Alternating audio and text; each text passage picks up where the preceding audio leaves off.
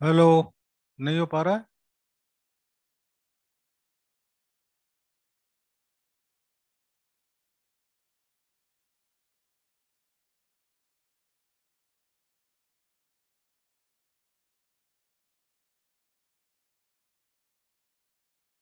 इतना थोड़ा ना टाइम लगता है। या।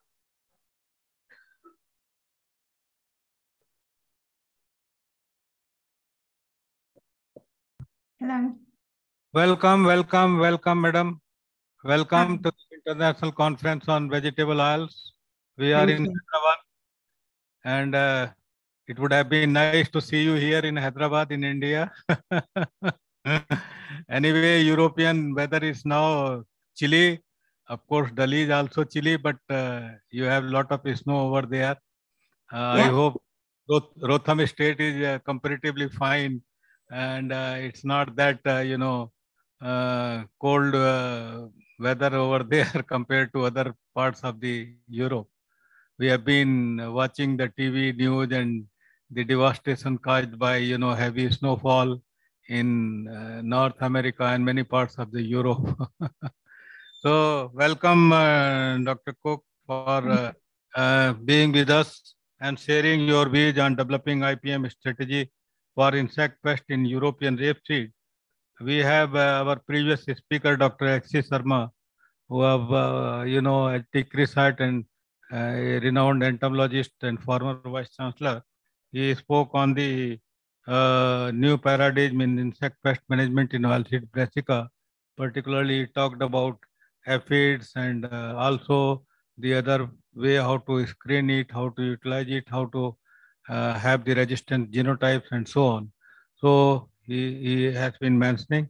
So over to you, Dr. Cook, and we will be glad to listen to you. I hope uh, our scientists are both offline and online because this COVID has shown us the way to connect online.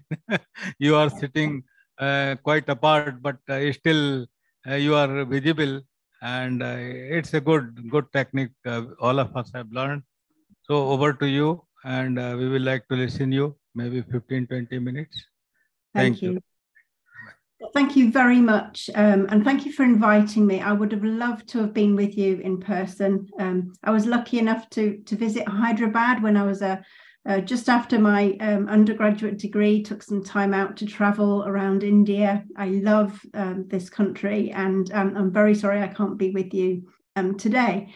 But I'd like to talk to you about um, my work on developing integrated pest management for oilseed rape pests or, or canola pests.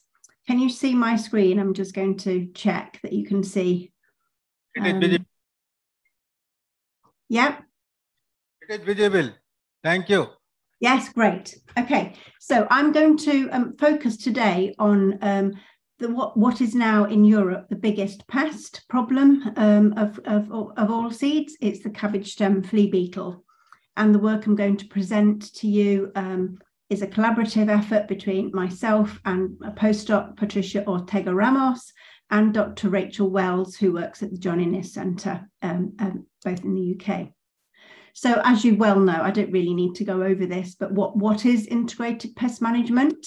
Um, well, it's um, an environmentally sensitive approach um, that relies on a combination of practices. So don't forget the I, the integrated bit of pest management, um, including the judicious use of pesticides. And it uses information on the life cycles of pests and their interactions with the environment. Um, in the EU, the Sustainable Use of Pesticides Directive um, was brought out to achieve sustainable use of pesticides in the EU. It set out minimum rules to reduce the risk of pesticide use affecting human health and the environment, and it tried to promote the use of integrated pest management and alternatives to pesticides, but actually wasn't that successful in doing so, unfortunately. Um, as part of this, the UK government is required to show that growers are using IPM practices, but this is actually done in, in a, in a, a non-obligatory way. It's voluntary. So we have the voluntary initiative, IPM plan, and organisations such as LEAF, which is linking environment and farming, they produce a sustainable farming review, and we have lots of conservation grade membership kind of, of farmers.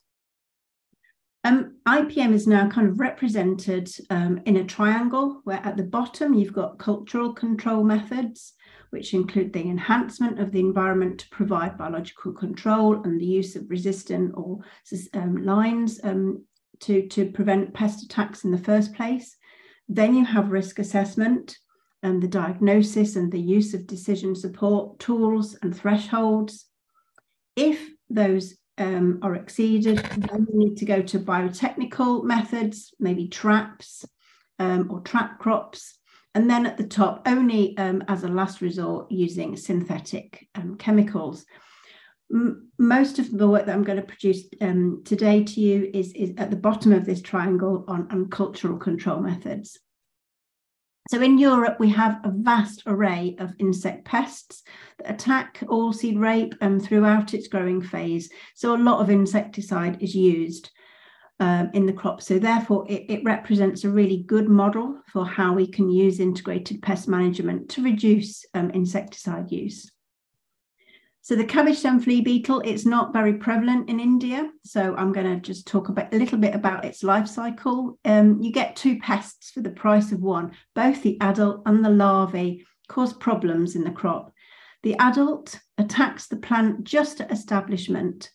It, it feeds on the leaves, causing these shot hole type um, damage, and can actually um, completely um, devastate the, the, the little plant as it's establishing.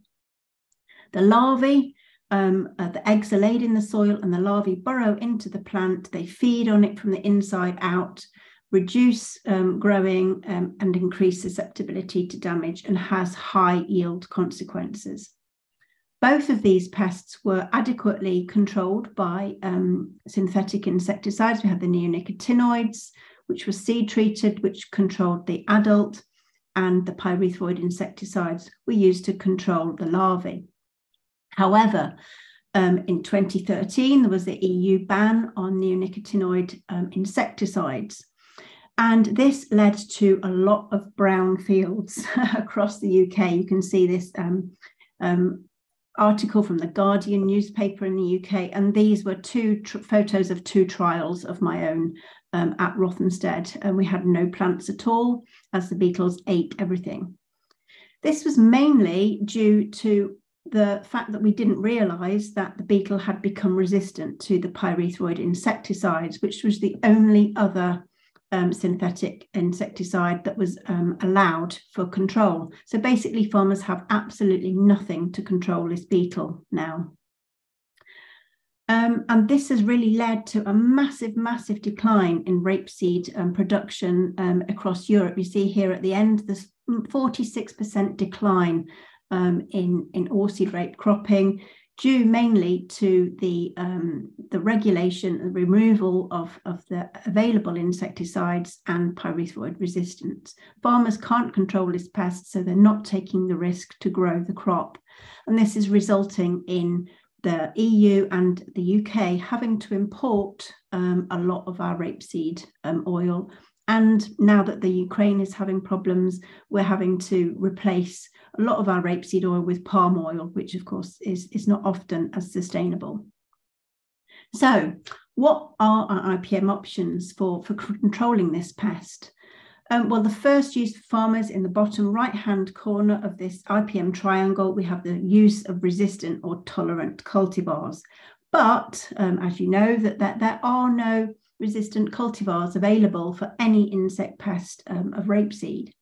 So we've been looking at the variation of feeding responses um, at Rothamsted to an array of, of, of brassica um, pests and um, brassica genomes in the OREGIN Oilseed Rape Genetic Improvement Network project. We've trialled um, the diversity sets and we looked at the um, effects of feeding across these. And you can see at the top there, we had some lines that had very lot of feeding and other lines that had less feeding. So we took those into the lab. We did um, controlled bioassays. You can see from the graph at the bottom there, it's a bit um, messy, but you can see that some lines had very little feeding and other lines had a lot of feeding. So there is um, the potential for manipulation of, of genetics, oops, to prove um, to provide um, resistant or tolerant lines.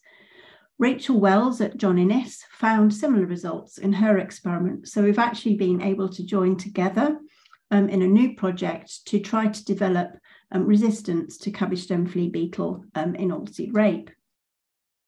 Um, this project is, um, is now running and, and has three main objectives. The first is to explore the genetics behind the resistance that we've both found in our previous uh, feeding studies. The second is to try to explain the differences in adult palatability. So we're going to benchmark commercial varieties of oilseed rape by comparing their performance in adult feeding trials against those that we found in our previous studies. And we'll determine the defense mechanisms and the role of metabolites um, in providing this resistance. So is it the glucosinolate content of the plant? Is it the role of, of hairs that are pre um, preventing feeding, or is it the wax cuticle um, so we're going to be looking at, at all of this with our um, colleague Fred Beaudoin, um, also at Rothamsted. And we're going to be doing a lot of field trials. We've already done one and we've got our second in the ground now. Um, these will be used to rain, um, look at commercial materials from collaborators and to compare their performance against the ones that we find best from the bioassays. And again, we will identify the genetic basis and mechanic mechanisms behind differences in larval infestation in these um, field trials. We're also going to try to study how larval competition is affected um, through the different varieties. Maybe some, um, some cultivars are able to tolerate um, larval infestation better than others. So this is the field trial. Um, at the moment, we've got 20 lines and they're replicated five times.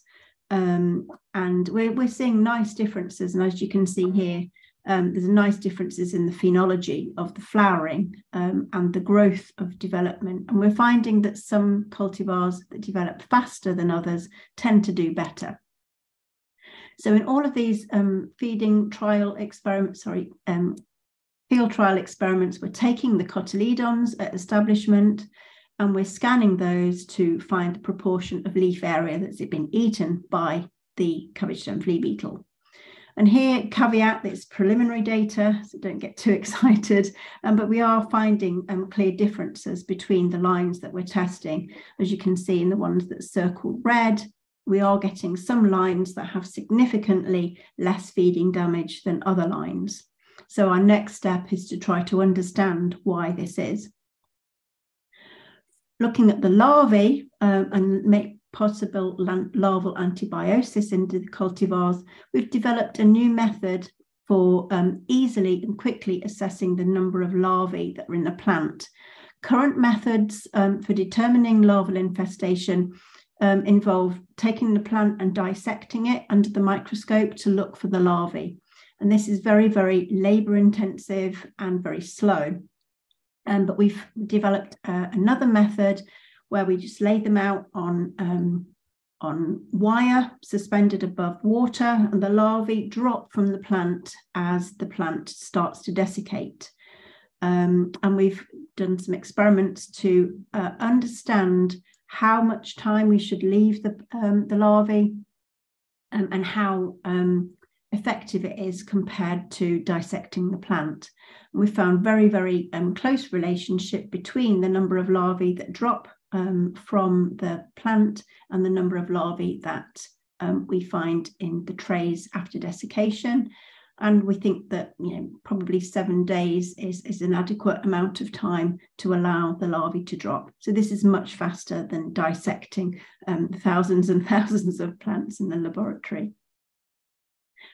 So using this method, again, we found nice clear differences between the number of larvae um, that we're finding in these plants. So as you can see at the end there, um, two lines have you know, significantly less larvae in them um, than um, the, the, the, two on the left-hand side of this um, graph. So we're finding nice differences um, in adult and larval pest damage in these varieties.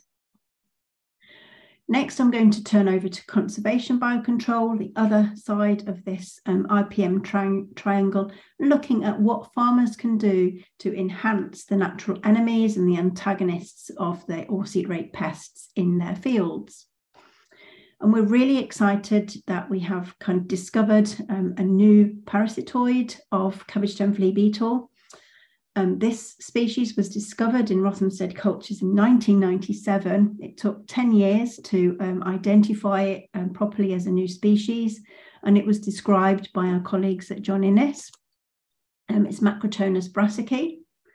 Um, and we asked farmers across the UK to send us samples of their cabbage stem flea beetles so that we could better understand um, how much how much parasitism there is in the field and the distribution of that parasitism um, in the UK. So we're really pleased that farmers from all over the UK send us samples, sometimes in crazy bottles, containers, and bottles. And we had one packet that actually burst in the post, and there's flea beetles bounced all over the post office, which um, caused some um, fear among the, the workers there. Um, but we found that they were present in 70% of the, the fields that we studied. Um, and the parasitization rate was around um, 30%, which is really quite good um, for, um, for control. So, in our future work, we are going to develop and use molecular diagnostics to try to quantify parasitism across the UK and Europe um, and really try to better understand the influences of management um, on improving parasitism rates. A lot of farmers in the UK are now uh, and Europe are undersowing the, the rapeseed with things like clovers or other plants to try to confuse the insect, uh, the pest as it comes into the field. And this might help reduce the, the um, uh, prevalence of flea beetle, but is it also reducing the prevalence of parasitism. So we really need to understand that. And what is the influence of landscape? Again, farmers are starting to grow flowering field margins around the outside of their crops. And is this helping to reduce um, pesticides, um, pest prevalence, and is it helping to increase parasitism? So we're going to be looking at that in a new project called Growing Health at Rothamsted. And we're really lucky to have really a lot of farmer involvement and our stakeholders um, in, in our work at Rothamsted. And we're hoping that together we can really fight the flea beetle problem and deliver really good practical tools for next generation IPM um, in, in rapeseed growing in the UK and get it back um, as, a, as a really good and reliable part of the rotation um, in, in arable cropping. Thank you very much. Thank you for listening to me. Thank you very much to be very well in time and uh, highlighting the IPM strategies and uh, the role of uh, biocontrol measures. As Dr. Sharma was mentioning in aphids also, you know, how to multiply, how to take the advantage of uh, these uh, predators, particularly the coccinellids and also this is abundant in the field. So these are the, you know, really techniques which can make, uh, you know, uh, the environment friendly uh, control measures of insect pest. Otherwise, you know, lots of pesticide use and we have to reduce naturally the pesticide load. And in that context, IPM is the, one of the wonderful techniques through which we can demonstrate uh, the farmers to use judiciously the chemicals and ultimately the use of various technologies so that the pesticide load is reduced and insect population is uh, minimized. So thank you, Dr. Cook, uh, to be with us. Be sometime to India. This is the crop season now for rapeseed and mustard. Brassica, this is important crop.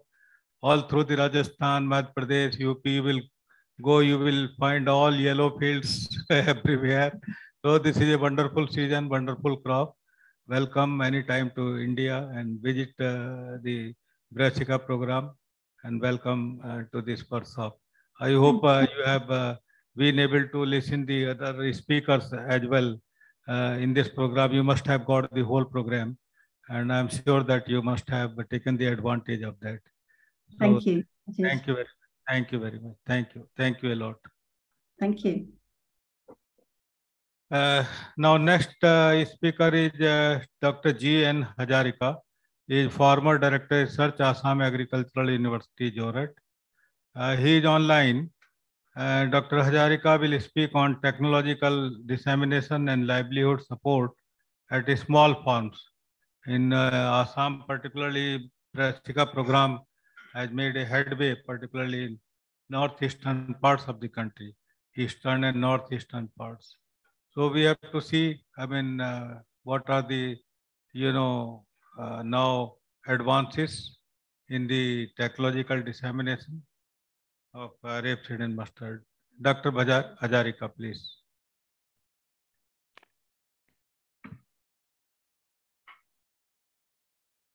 Hello. Am I audible?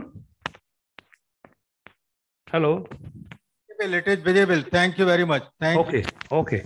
Uh, I'm Dr. Jian Hajarika, uh, resident consultant, uh, DRMR APART program, and the respected uh, chairman, Dr. Kumarji, and co-chairman, Dr. Raiji, and esteemed uh, participants of ICVO 2023.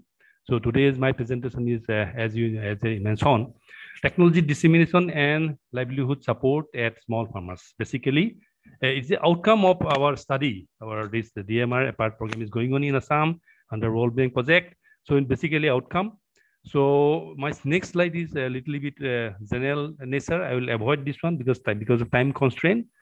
And these are the different, I think, schemes we have ICAR undertaken, GovTube India undertaken after uh, independence and outcome is that we are self-sufficient from I think some food surplus uh, from food scarce and similarly in the left hand side also in oilseed also uh, we make a headway. So leaving this slide, I'll go to my third slide. Uh, that is uh, why rapeseed and mustard. See, as Dr. Ryan mentioned, there are lot many positive points are there for rapeseed mustard and why in Assam anyway, we know that Assam is a very rich, uh, having a very uh, rich uh, natural resources, ample scope for culture medicine mustard. But unfortunately, farmers are very poor. 80, more than 85% are marginally small, having very less income compared to national average, only 5,638 compared to about 10,218. Uh, uh, and also productivity also there, we grow rapeseed mustard to a substantial area, but the productivity is very low, about 6.47 quintal compared to national level, it is uh, 15.24. But there is um, tremendous scope for that. Last two points I have shown the scope. That in Assam, we grow 18 lakhs winter rice. And out of 18 lakhs winter rice, 9 lakhs are remaining fallow. And out of these 9 lakhs, 6 lakhs are very suitable for the rabi crops, especially pulse and oilseed, having uh, residual moisture. And from our demonstration plot, we have seen that production goes to 10, 15 quintal, whereas farmers production is only 5 to 8 quintal. So there's tremendous scope, and the government of Assam is realizing this fact and giving, giving more space uh, through this uh, APART program. Thank you. Next.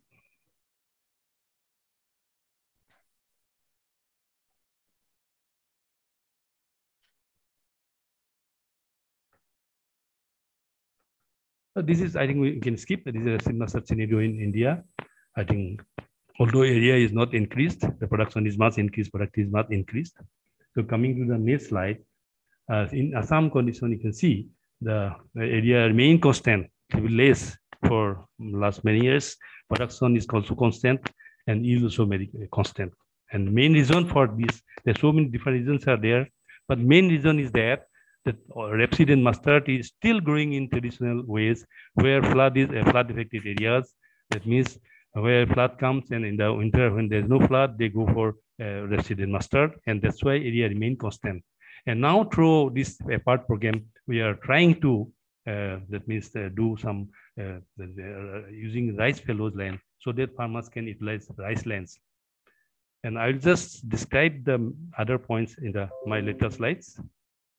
So this is out of uh, all rapeseed mustard, about 92.48% is only rapeseed. So our main emphasis is on oilseed crop.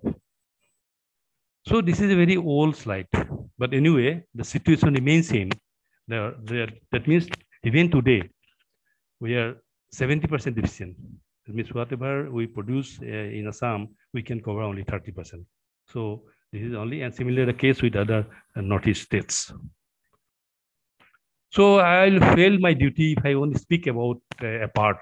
The Assam Agribusiness Transformation Project This is a World Bank funded project for 2000 crore. And it is, I think, started in 2018, 19.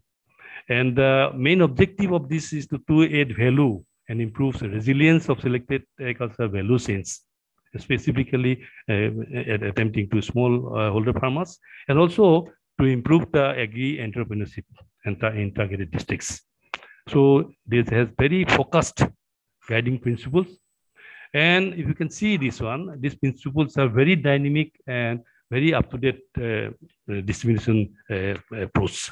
So that means a cluster approach, then again, increasing private sector uh, participation, then improve public sector capacity building, then supporting the development of modern supply chain, then ICT, and improving producers' access to knowledge, technology, infrastructure. And I already mentioned that I, DMR, ICAR is the, is the, the knowledge partner for uh, the seed master. And for uh, for rice, it is a knowledge partner. For a uh, lot many international center, like your international fish research center, international vegetable, uh, world vegetable center for vegetable, international potato center is for potato. That means through APART program, lot many international and national uh, that means uh, institutes are involved for increasing production.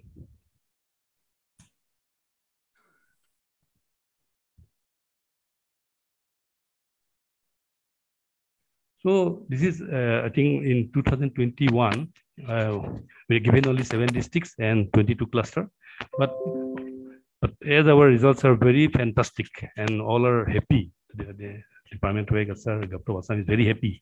And they are requesting the DMR to increase to up to 15 districts and total cluster now is 45. And these 15 districts fall in four agroclimatic uh, zones and which constitute about 80% of our uh, area and production of resid, total resid production.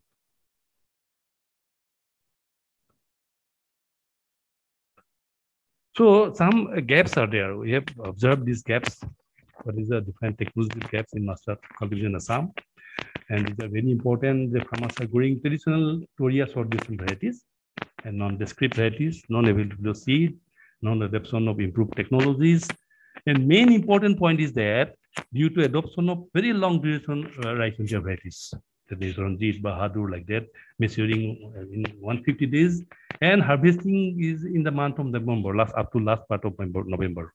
So definitely this is a constraint, even though land are suitable, soil moisture is there, because of this habit, long duration uh, rice varieties, they cannot go for these rabi crops. And now these areas are popular in uh, medium duration rice varieties, then so there is, there is farmers are interested for that. And we are taking this advantage where this short duration or medium duration varieties are taken. DMR also involved, and we are taking in copying sequence mode. So we have uh, another again, I think five is very important. The five extension approaches. Number one is the skill development. As I told already 5,400 common demonstration, crop demonstration and 18,350 mini kits were done in last two years. And this year again, 5,000 uh, demonstration and 8,000 mini kits are going on. And total number of technical were three, three, 338 technical trainings were imparted in different stages. So these farmers, they are, they, are in every step, they can do the thing, okay? Then conducted about 294 field days, two farmers fair, every one year, every year we really conducted uh, these exposure visits and also we are distributing so many uh, some is uh, bulletins for that.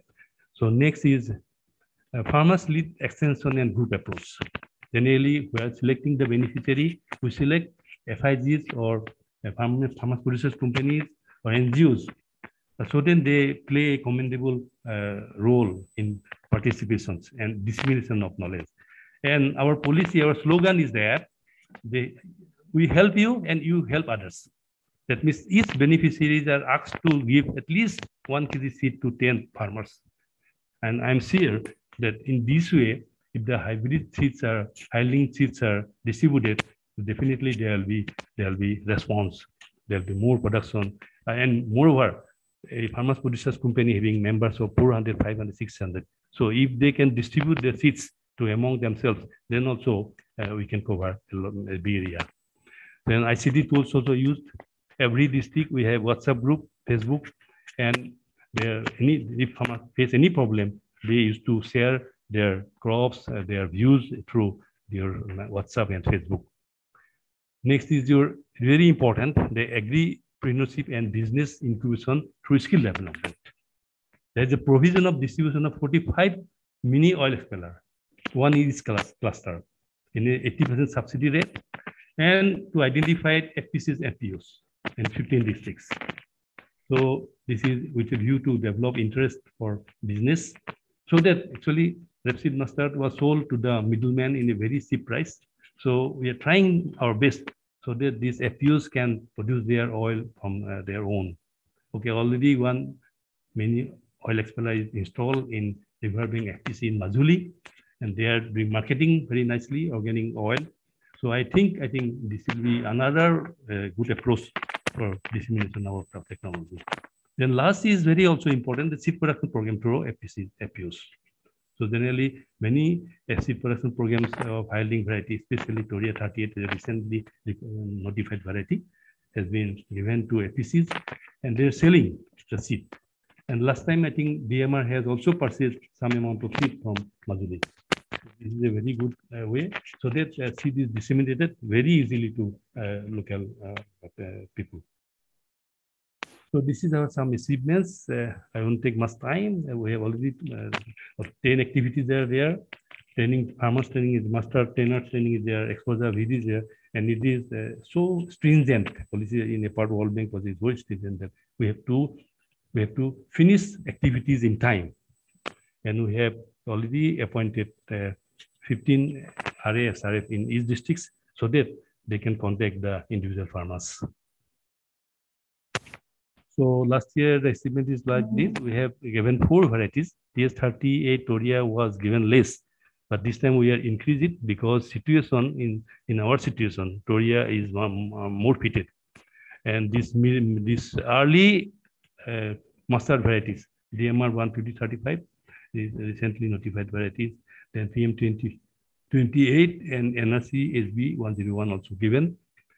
And our demonstration component was uh, these uh, varieties, uh, seed treatment, balanced fertilizer, proper spacing, weeding, and need-based upon plant protection measures. And apart from it, we are also taking post-harvest management also. So these are results. You can see the results in uh, IP and within practice. And yield over practice is sufficiently high.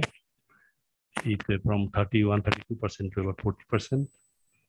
And additional net monthly return also quite high. And BC ratio is very good. In, definitely in irrigated area it is more than in unirrigated it is less. So this is uh, a variety wise with performance. Same thing. And this is your overall IP against farmers across seven districts. And this is the next year in 2001, 2002, and it's same continuing also 2002 and 2023, four zones, 15 districts. And it is shown that this time our data is much more and yield increase over farmers practice is much higher is from 53 to 73 percent. So much higher, much encouraging. So this is again cost of cultivation and this gross monthly return. Then again BC ratios.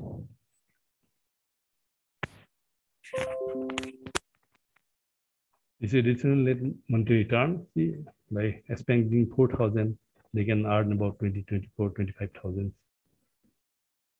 So farmers are very much convinced with these results. And these are district-wise uh, I am giving this uh, in irrigated condition.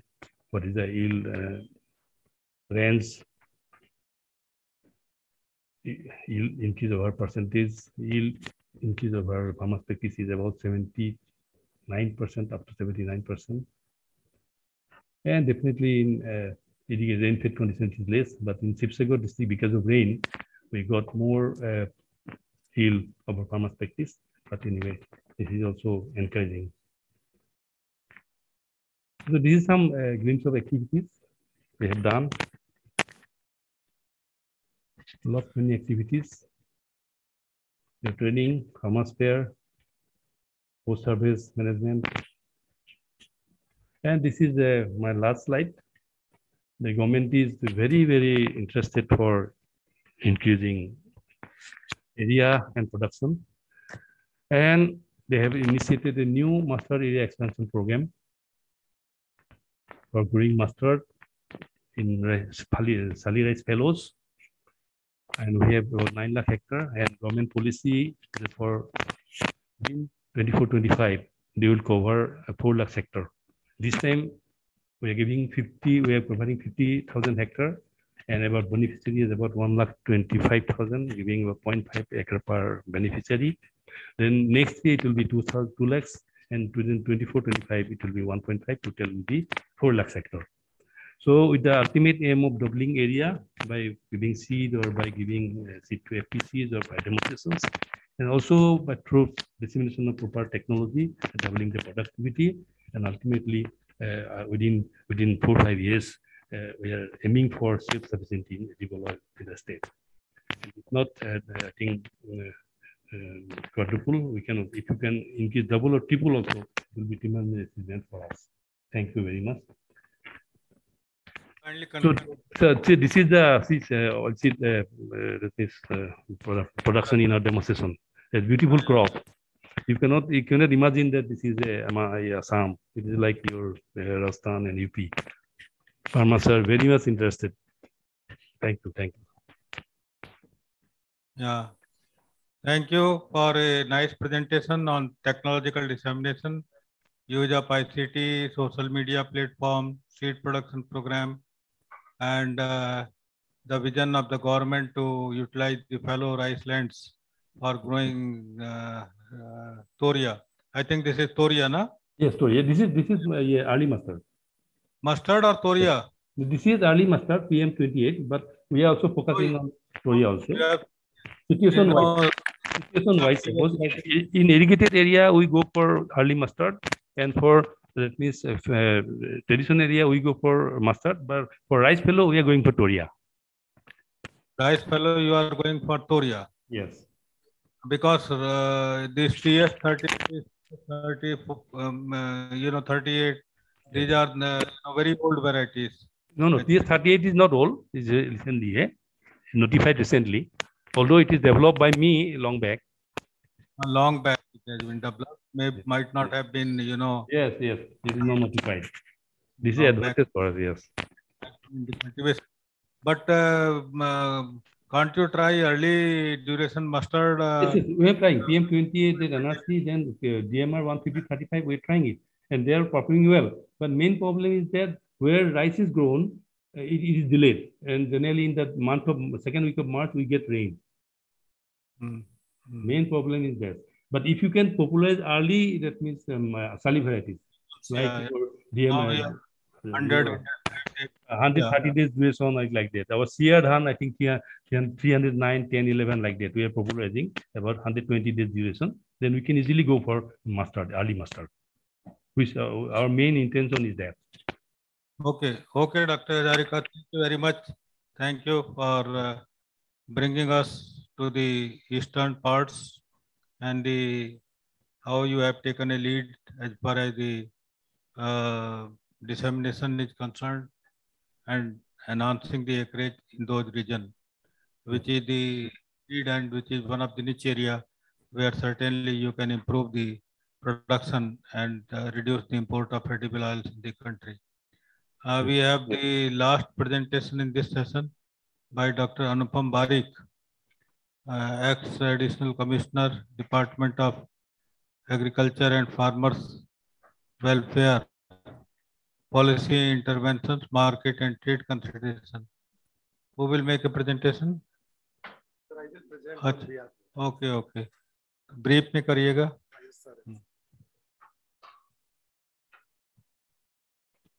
So over to Dr. Ashok Sharma who will present on behalf of Dr. Barik.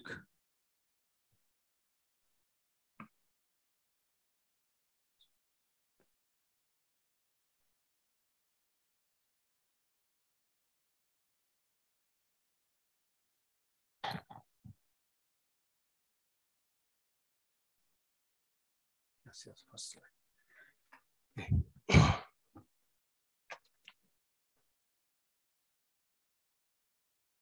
Okay. कैसे होगा?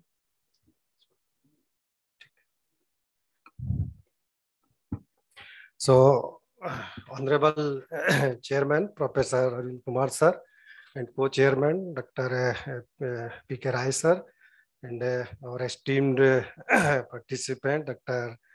Bhatt sir, Dr. H. Sharma sir, and I, all uh, fellow colleagues.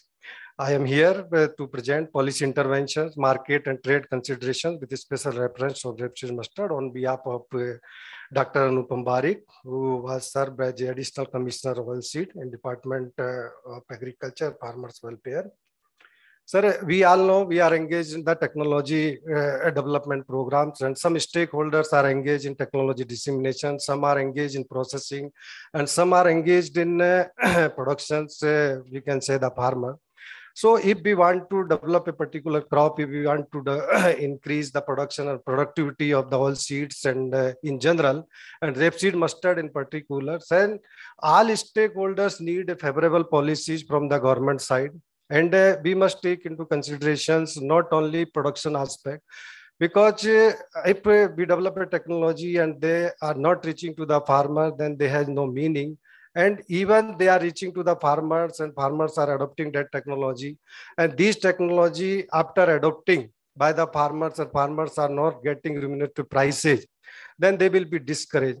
So it is the responsibility of all the stakeholders. If we take uh, as a mission mode to increase or enhance the oilseed productions in the country. So what are the policy framework to our national missions for edible oils? Uh, sir, currently uh, government of India is implementing an NFSM schemes for increasing oilseed production area expansion under oil palm, all we know. And uh, oil palm uh, scheme uh, has already been launched uh, with the uh, implementation with the aim to enhance the edible oilseed production and oils availability in the country by harnessing oil seeds and palm oil productivity. And uh, NOM NMAOP, OP already launched in uh, August 2021. And there is another uh, program uh, as a national mission on edible oils on oil seed is under the consideration by cabinet and may launch soon. It is expected that uh, by this March, government will launch this uh, program. And uh, budget allocations for oil palm is uh, uh, 11,040 crore by 2025-26 and uh, expected budget for national mission on edible oil and oil seed age uh, would be about 10,000 crore by 2025-26 under this mission. And uh, sir, we see uh, what is the target of government of India under this mission by 2025-26. So important target is to reduce the import dependency from 60% to 40%. This is the uh, big target. And if we see the domestic production of edible oil in million tons, then the target uh, has been fixed up to 18 million tons, uh, right from the 12.14. And we all know though there is a share from primary sources as well as the secondary sources also. And uh, under this mission, which is likely to launch soon, uh, government has target uh, to bring the additional area up to 32.28 million hectare. That will produce 54.1 million tons and productivity will be increased 1,676 kg per hectare. So it is a uh, mega mission and uh, under oil palm also government target is uh, 10 lakh hectare that will give us in the form of crude palm oil productions about 11.2 lakh tons. So this is the overall scenario of the present and what is the target of the government.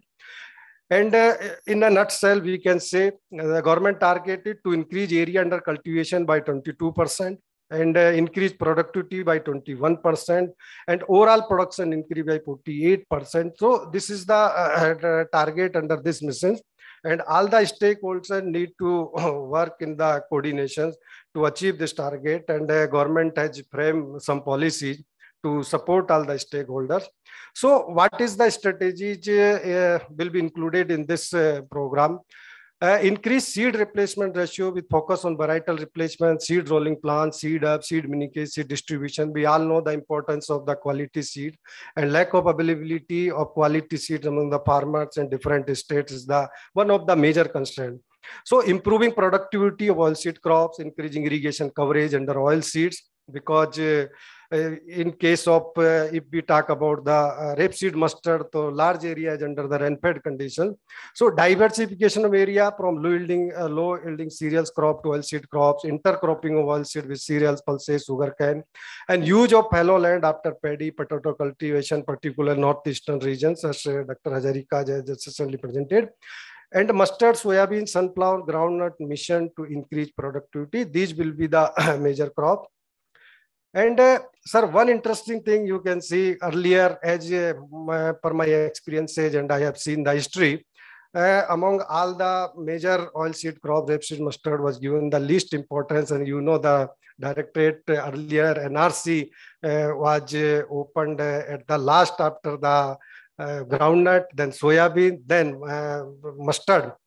government focused on the rapeseed mustard, but now everyone has realized that the rapeseed mustard is the only crop which can meet the uh, our requirement.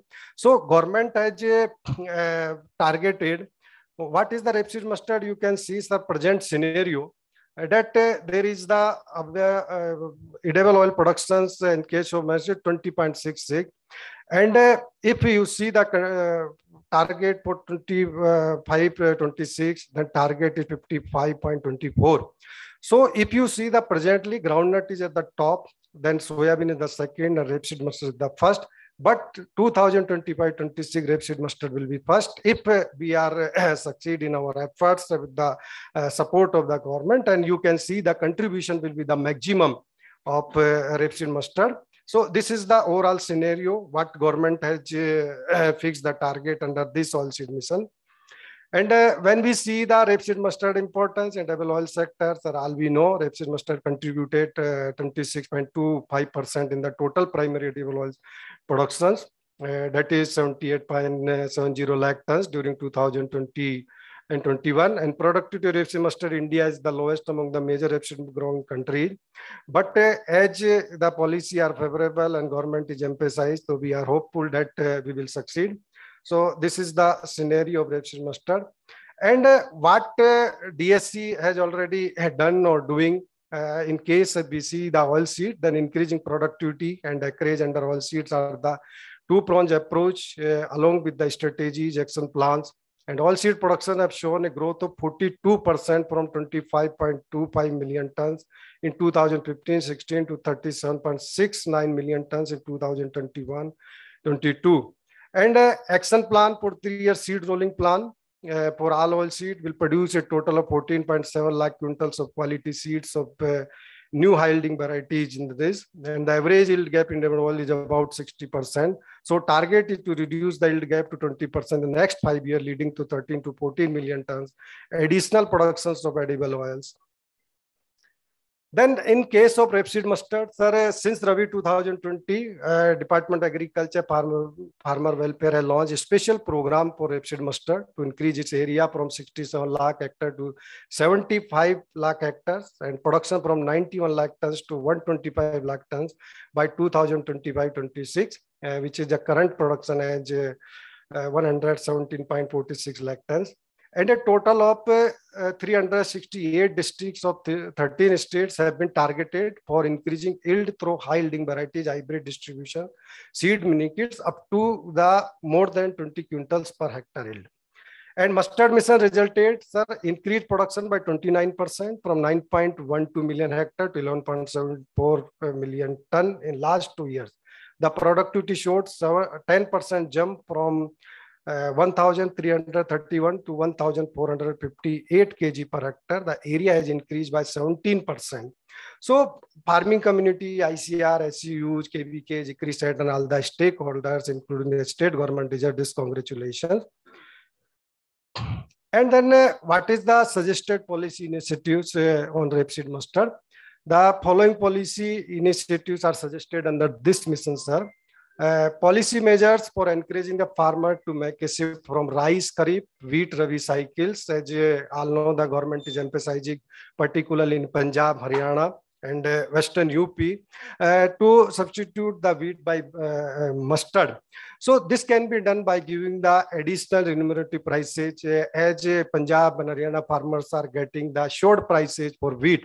So they are reluctant to for diversification with mustard, but if uh, they are given the assurance for all seed, and if 5 to 10% area is reduced by wheat, then there will be no harm in the wheat production. So uh, this is the one uh, initiative government is taking. And another is uh, to bring the areas of uh, rice fallows, particularly Assam, Tripura, Manipur, and northeastern states like Chhattisgarh, Odisha, without sacrificing the food and nutritional security of the country. So this is the uh, one of the important aspect. Then, sir, another important aspect is there is a need for private sector involvement in this mission for implementation because government sector has some limitations. As you all know that there is a problem staff even any many kvks they have only two or one person. So it is not possible to organize all the program and produce the seed. So there is a, also a need to private sector involvement uh, in uh, even a seed production uh, program. And uh, in the limited basis they are also organizing the many training programs extension programs uh, for aware, making the farmers aware about the scientific technology of rapeseed mustard to increase the production and productivity. So it will be better if uh, government support the private sector and they involve in this uh, um, uh, mission also.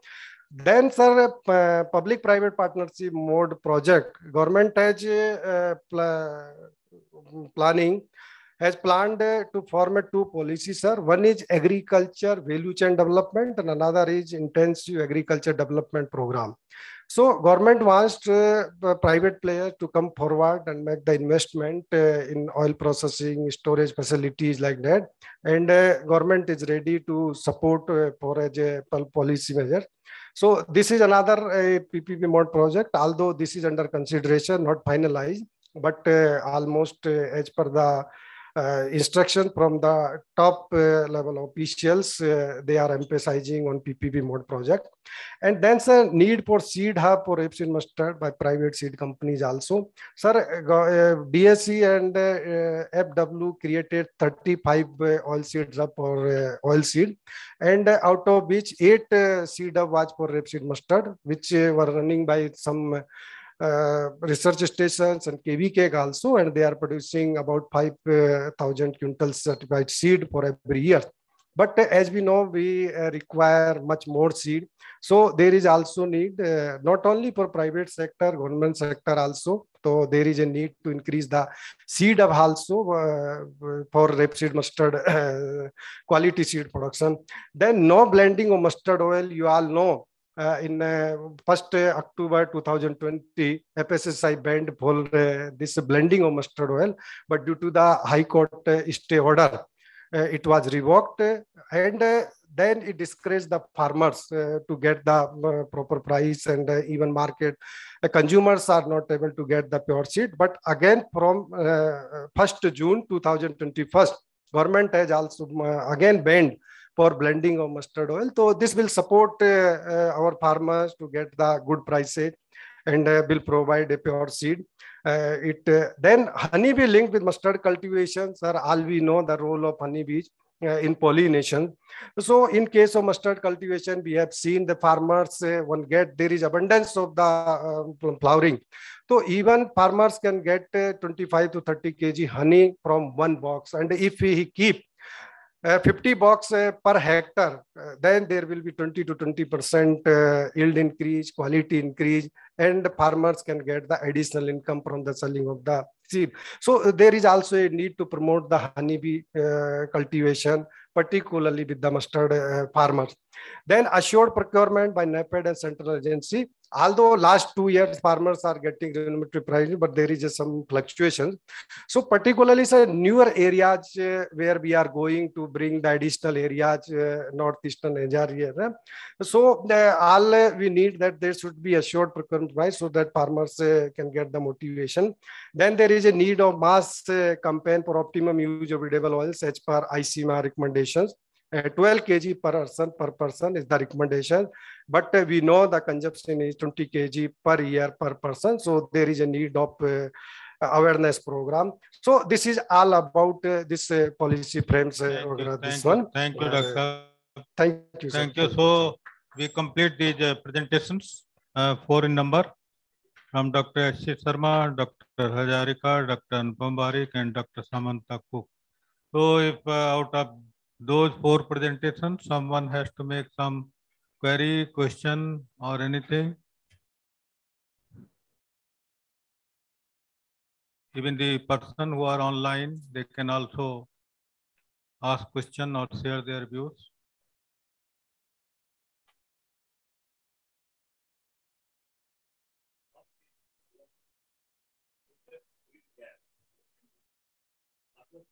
Hmm.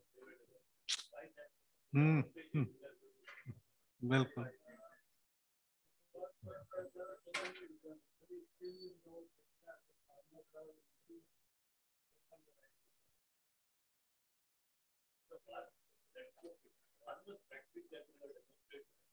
उसमें भी variation है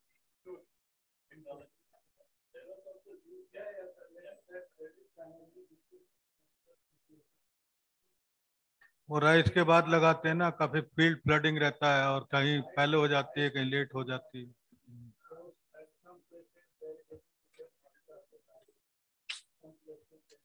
इसीलिए कई बार वहाँ उतारा cultivation की बात करते हैं।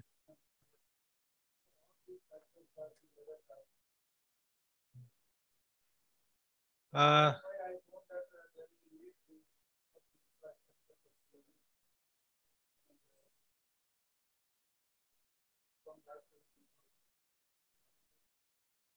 So thank you very much. Uh, uh, we have another session, but it's a tea time. Should we break for tea or, uh, huh? Or uh, should we have one or two presentation and then break for tea? Huh? Uh, we can take uh, one or two presentation because it's already 15 minute lunch. Acha, okay, okay. So Dr. B.V. Singh must be ready uh, for advances in rapeseed and mustard breeding.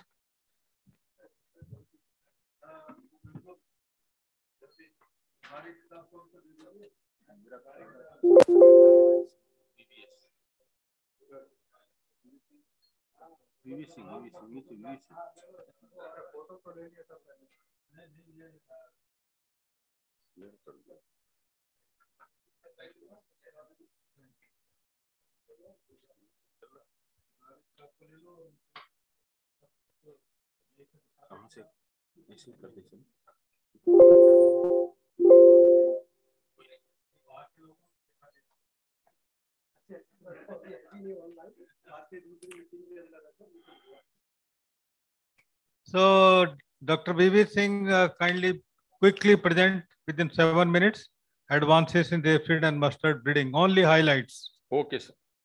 So, respected, most respected chairman, and Dr. Arvind Kumar Sahab, uh, Dr. P. K. Rai Sahab as co-chairman, uh, esteemed members of our QRT, Dr. S. C. Sharma ji, which uh, has been concluded, and uh, Dr. Bhatt Sahab, he is still our member of RAC. So, and our uh, partners from ACREP, DRMR, Dr. Mehak Singh ji, and the persons who have joined us online. So this is the mm, uh, topic given to me, advances in rapeseed mustard breeding. Actually, uh, since inception of ACREP more than 200 varieties, they have been released for different situations. But if we see the last decade, that is 2010 to 2022, almost more than 90 varieties have been released from the state as well, Central Variety Release Committee. And apart from it, many hybrids and also the biofortified varieties, they have also been released. And if you see this, these are two contrasted group. One is mustard and one is rapeseed. As you know, based on the petiolate and sessile, uh, that is botanical character, these two groups were grouped. But both the type of crops that is self-pollinated and cross-pollinated, they fall under both the groups. And accordingly, the breeding strategy is designed. This is the interesting figure. If you see the decade-wise productivity of mustard, that is the 11.1185 uh, kg per hectare to uh, 1,511 kilogram per hectare. So there is a sharp increase of more than 20% in this decade. And this is due to the release of the high-yielding varieties matching with the production and protection technologies. But uh, as a breeder, I would like to give the uh, contribution to the release of the seed system and the high-yielding varieties. If you see the varietal development, sir, these are the four major objectives. That is the genetic enhancement of seed and oil yield, and particularly for the specific ecology. That is the timely sown, red fed, it may be the saline condition, it may be the early sown condition. Again, development of resistant and tolerance varieties for various biotic and abiotic stress.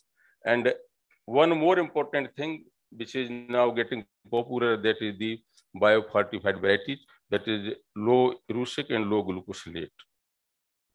Sir, these are the different situations. If you group all these situations over the country, these are the six major situations. They may be the early sown, timely sown, timely sown, rain-fed, late sown, saline condition, and quality.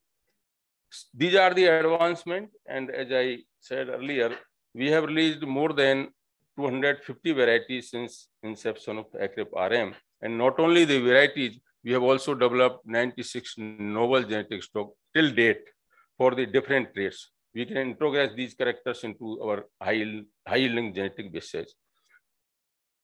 Sir, these are the early sown varieties, and we see the early situation, mainly three uh, parts, Toria, yellow sarson, early mustard. And if you see from the 2010 to 2021, number of varieties have been released, and some of the varieties like Tapeswari, you can see Raj Vijay Toria 3, Raj Vijay Toria 2, Ajad Chetna, and Jyoti for the Assam conditions. These are the good varieties, and they mature in uh, uh, less than 190 days. Likewise, the yellow sarson, we have the good variety YSS 401 and the Pitambari, this is the very leading variety. And we can get the good eat potential up to 1.5 ton per hectare with the less maturity duration. Again, this is the earliness in mustard. And we have the varieties that uh, PM28, this is a good variety and an APART program also, it is performing very good.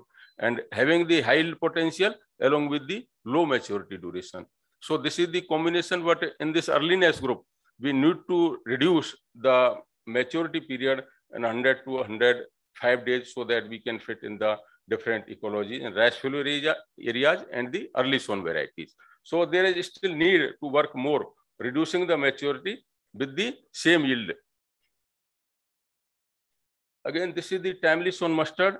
And in this decade, we have released more than 10 varieties and leading variety that is the Girraj is the leading variety and it is still popular and it crossed the all the zones. Originally it was released for the zone second, but we see the popularity in zone third also, zone four also, and it is uh, giving the high yield potential in various conditions.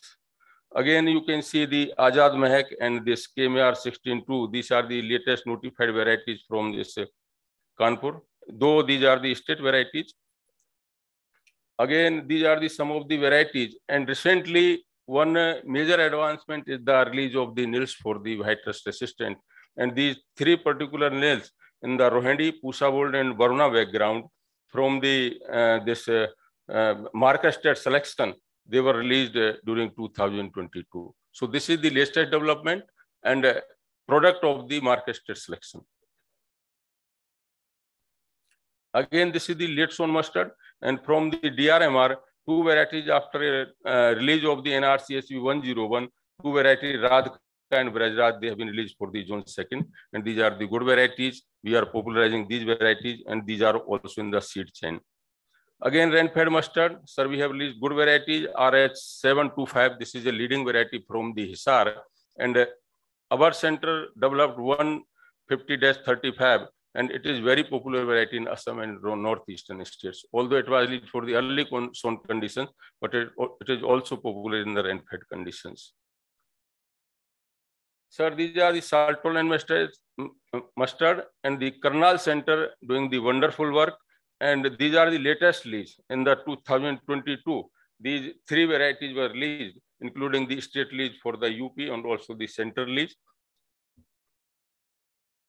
Sir, this is uh, just a uh, brief of the hybrid development. As you know, initially two CMS systems, we worked and Tora and one in Brassica napus. And then seven CMS systems were discovered. And the NRC PB New Delhi under the able guidance of Dr. Bhatt sir, the CMS fertility restore system were corrected and developed. Chlorosis were rectified. And now we see that this MORI system is very perfect and we are getting the very good hybrids. So this is the just history. First commercial hybrid PGSH1 on the basis of the TOR CMS system were developed in this Gobi Sarso. Then in Indian mustard, under the able guidance of Dr. Arvind Kumar sir, two hybrids, that is the NRCHB 506 and DMS1. They were released in the 2008-2009. And then the Advanta released the two more hybrids, that is Coral 432 and 437. Again, sir, I would like to emphasize on the current efforts in the hybrid development. And during 2015, the CRP hybrid technology program was initiated with four centers, that is the Hisar, Ludhiana, IARI, and DRMR as the rural center. And uh, in this, uh, you will see that seven hybrids, they have been promoted to EST1. For the first time, this is the good promotions. Although the relaxation was given from 10 to 50 5% over the best hybrid check, but the over varietal check, it is same, that is the 10%. And a result, in EST1 in June 2nd, we have promoted seven hybrids. So these are the four hybrids from the DRMR itself. And you see, sir, uh, DRMR Edge 2518, DRMR Edge 1117, DRMR Edge 430. These are excelling the best check by more than 5%, even having the superiority in the white resistance. So we are combining the WRR and also the low erucic acid in the yielding waste. Okay. Sir, this is the just a summary of the Conclude experimental hybrids. Conclude kiji. Experimental hybrids of the four centers and we see the, the hybrids released from DRMR and the this STAR center. They are excelling the West check. Sir, these are the list of the hybrids released from the ECRIP system and seven hybrids we have released from this aggression till date. These are the Gobi Sarso varieties. One, this, uh, this is the fortified varieties was the quality oil. As you know, that we have developed the marker selection for the erucic acid and the low glucose set. And as a result, we have developed the many good varieties for the double low. And we know that our uh, Prime Minister also dedicated this PDZ1 to the nation last year. Sir, these are the quality mustard varieties in this Gobi Sarson. And these are the varieties for the specific situations in the uh, different uh, rapeseed mustard group. This is the program for the mass program. It is also uh, running at three different centers, New Delhi, Diawar, Bharatpur, Ludhiana.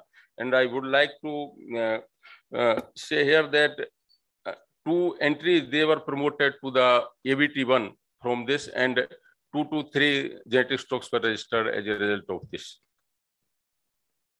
These are the some of the genetic potency advantage and we know that three nils this year and also this DMH11, it has been approved by GEAC for the open field trials. Sir, these are the, some of the challenges. We know that is the utilization of rapeseed germplasm and the most important that is the heterosis enhancement. It is, is still a issue. Next is the yielding varieties hybrids for the seed meal quality. Although we have in good situation, but we have to increase the yield levels. Development of thermophotoinsensitive genotypes. This is the need for the varied situations and the cultivars with high water and nutrient efficiency, designer Brassica for high oleic acid and for the different biotic and abiotic stresses. So thanks, sir, Thank for giving me the time. For uh, Thank you, sir. Very good presentation. Lot of uh, good work has been done as far as the varietal development part is concerned. You can very well see compared to other crops in almost all the species, uh, there are uh, quite a number of varieties which are high yielding.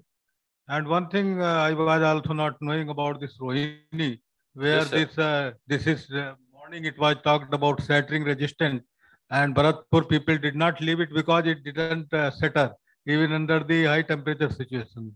So that's a plus point with it. And now it is white rust because it became susceptible. Yes, sir. Yes. Now white rust resistancy has come in this variety. So I think that's a very good achievement. And also the level of heterosis, which is, you know, eh, as you have rightly pointed out, we need to enhance the heterosis level. But at least the things are Yes, sir. coming up, things Yes, are sir. moving. That is the thing. You cannot, um, uh, you know, build up a, you know, nation just in one day or bring a variety overnight. But things are in a right direction. And i am sure that the breeding program will certainly make a headway in recent years. And when we have national mission on oil seeds and oil uh, there should be a separate mission. Because when it is tagged by oil palm somewhere the the advantages of this oil seed mission or attention may be diverted but this is good that this is being now concerted efforts are being made and definitely it will make an impact. It will certainly make an impact. And Brassica is a crop where a lot of scope is there. It needs only proper monitoring, evaluation, and all kinds of things. Proper direction it is needed. Everything is in place. Variety is in place. Technology is in place. Everything is in place. So I'm sure that uh, significant achievements uh, will be made, and this will certainly make an impact in the not only Indian economy but global economy. Like sunflower, Ukraine war is there now. Sunflower, everybody is crying for sunflower. Area is going down. Safflower area is going down. This is the only crop where area is going up and up. So that's a plus point, and we must harness the opportunity. Thank you, Dr. BB Singh. Thank, you very much. Thank Next is uh, Dr. Naveen Singh is here. Dr. H.K. Sharma. And after that, we will break for tea. Management of rapeseed and mustard germplasm. Please be brief, very brief. Okay.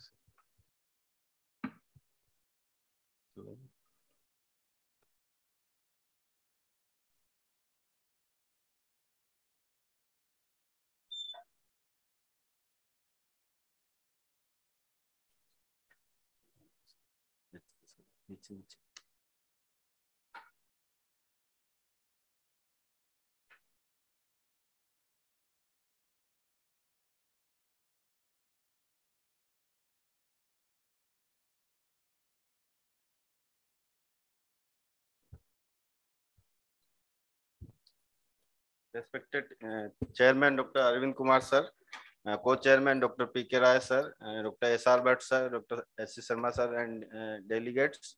Myself, Dr. Hariam Sharma, I am presenting the work on the management of rapeseed mustard germplasm. These are the our objective collection and ac- ac- acquisition of rapeseed mustard germplasm, mi- mi- and midterm conservation, characterization and evaluation and distribution. This is the germplasm status at DRMR. Total, we are having the 2548 germplasm, out of which maximum we are having of Brassica juncea 1904.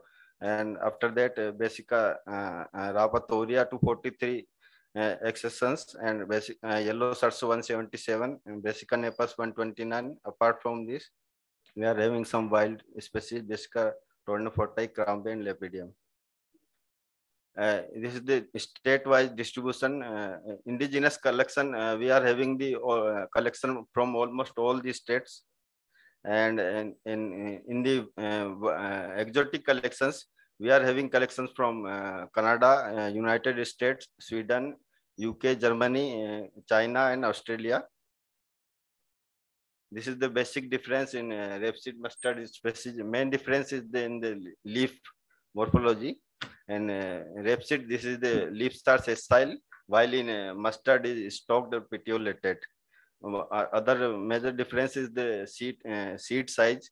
In three to four gram in uh, rapeseed mustard, and in mustard it is 3.5 to 6 gram, except Brassica nigra. In a basic uh, rapeseed, is, uh, rapeseed group, two species are mainly there: Brassica nepus and rapa, Brassica rapa, and uh, in mustard group, Brassica juncea, carinata, and nigra comes.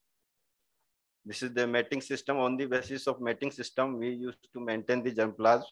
All the three uh, amphidiploid species that that is Brassica juncea, carinata, and Brassica napus. These are self-compatible, and rest are self in, incompatible except that yellow sarson that is also self-compatible. This is the germplasm acquisition and collection is one of the activity of uh, our institute.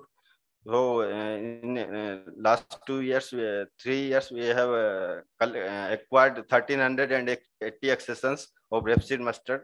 these are mainly obtained from the NBPGR. This is the one of the another activity, the regeneration.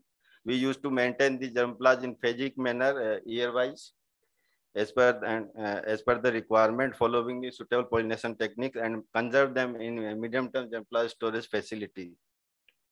This is the distribution. Uh, in last five years, we have distributed 3,775 germplasm to different indenters. These are the cultivated species which are maintained uh, in, at DRMR. These are the morphological variations in different uh, crop brassica species. Uh, we can see here that the seed size varied from 1.3 gram brassica nigra up to 5.75 gram or more than 6 gram in Indian mustard. While in other brassica species, this is a 3 to 4 gram uh, seed size is there.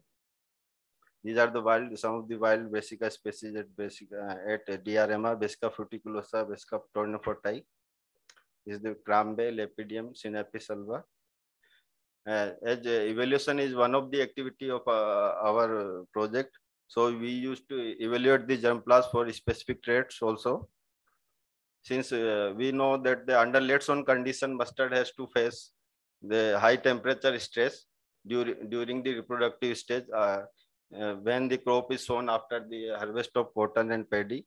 Therefore, uh, heat becomes the uh, very limiting factor uh, for the late sown crop in this view, we have skinned 986 accessions of Indian mustard under late sown condition.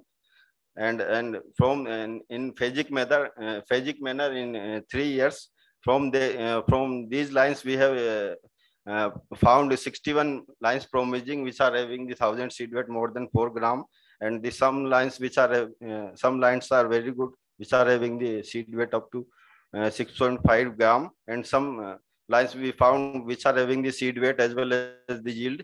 Uh, uh, uh, this is the another set of the uh, we have screened for terminal heat tolerance. We can see here that a very good material we have uh, isolated.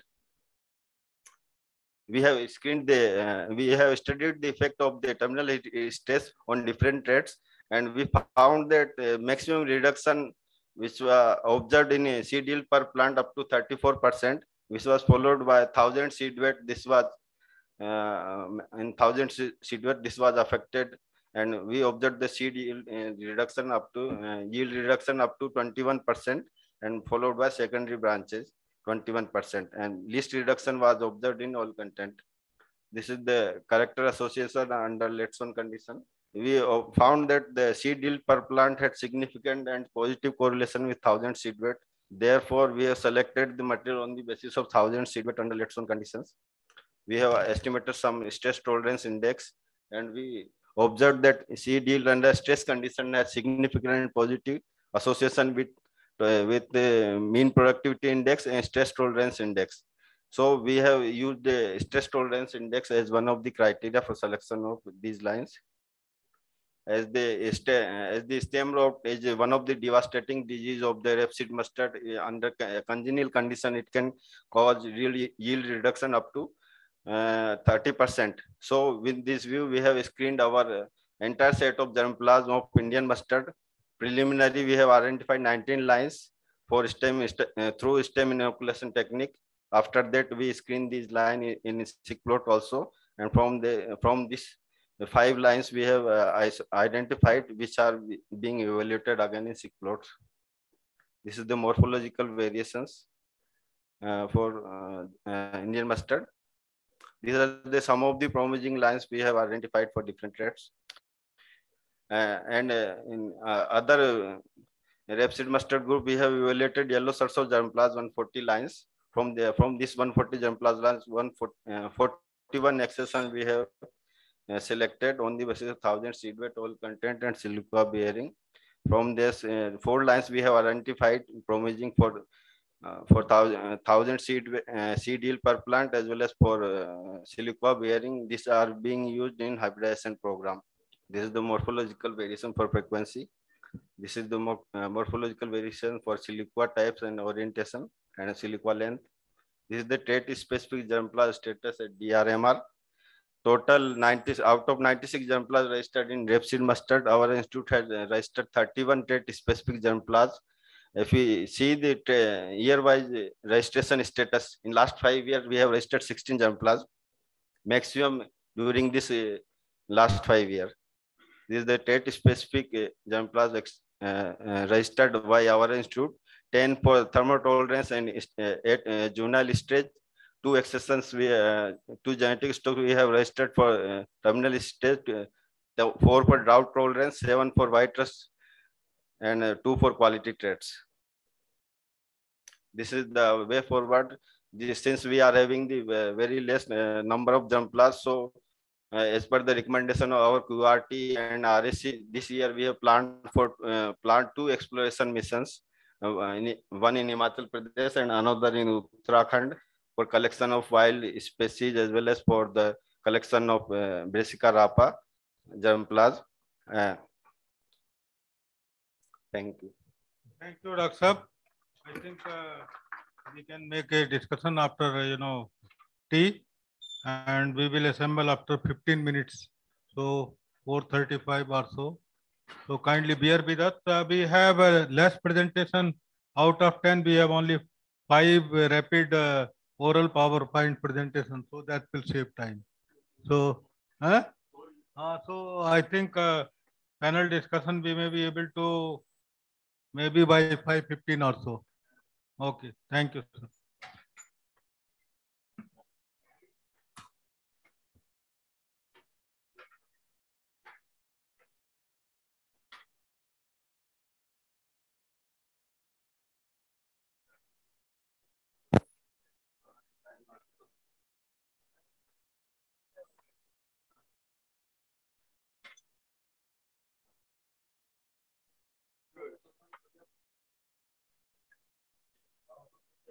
Make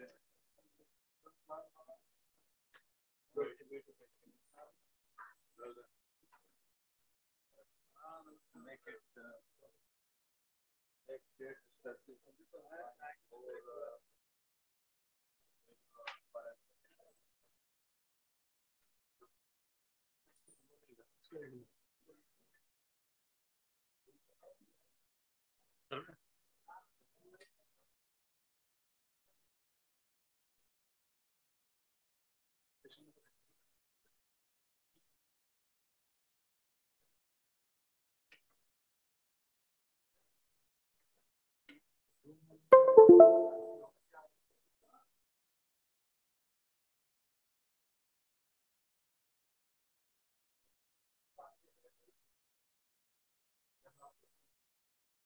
Yes.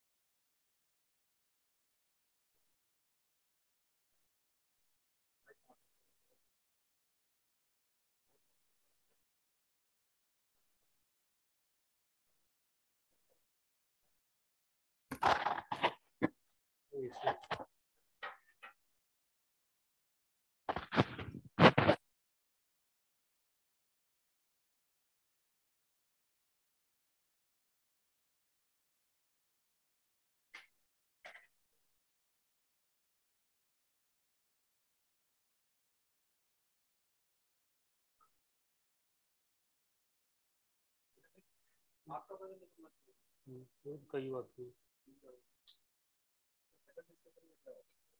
Issue है जैसे petrol breeding है test management है। हाँ। नहीं कल R S का जाट। वहाँ जाने में आधा घंटा हो जाएगा।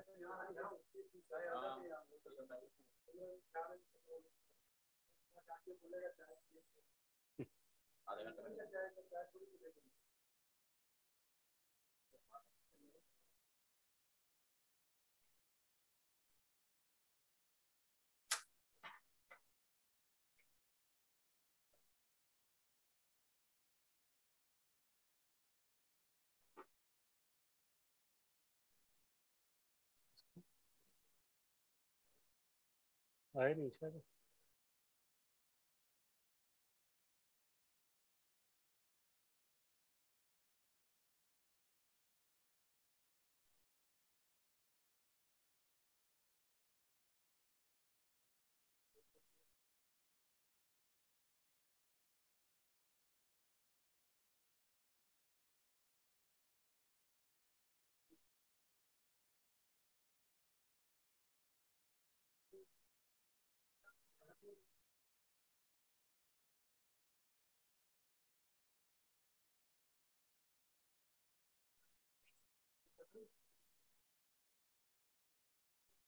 जी। बड़ी जब पेंटल साहब की लैब में थे। पेंटल साहब के बिल्कुल खास आदमी है।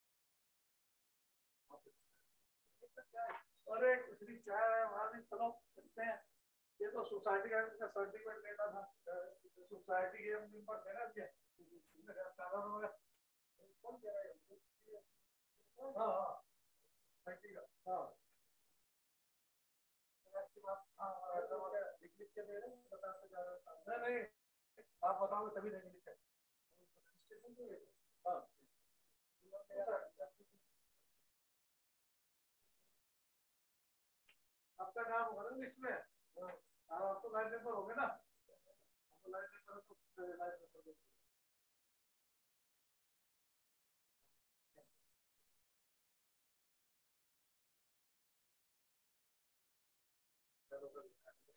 कल वाला तो आपसे भरवा होगा फॉर्म है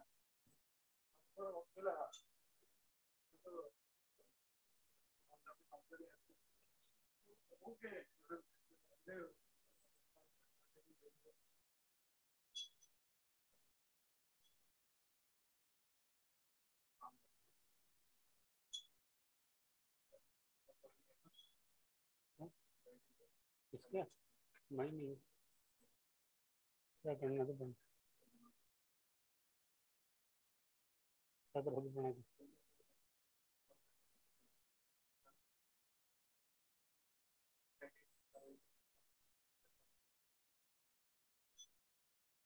एक दो सोसाइटियों में ऐसे ही बन गया।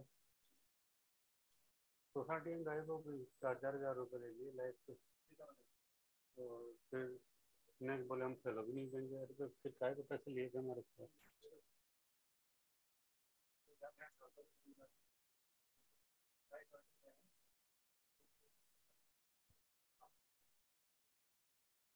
बढ़ा देना तो आप मना थोड़ी करेंगे।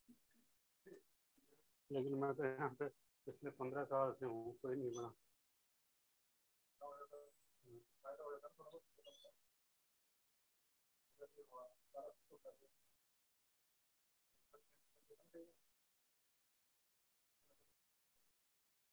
हम्म, हम्म।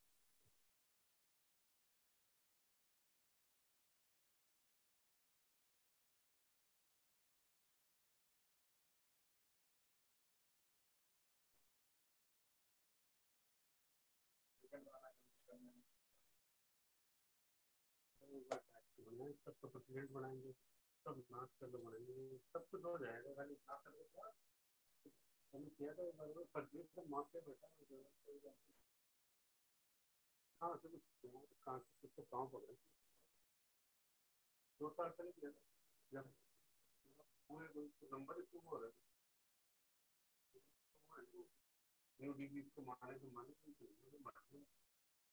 जन्म काल भी तो हो गया जन्म काल भी तो वो है नंबर देने का।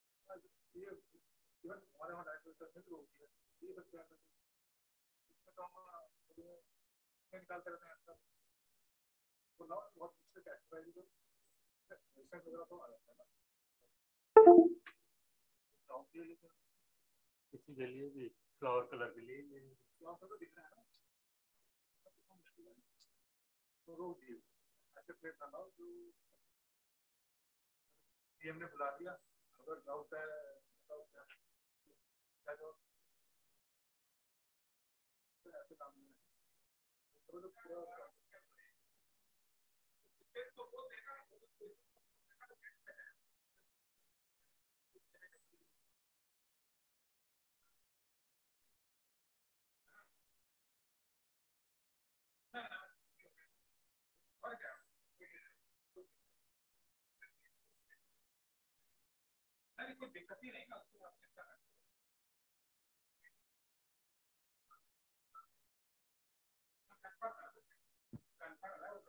eliminatorias tenemos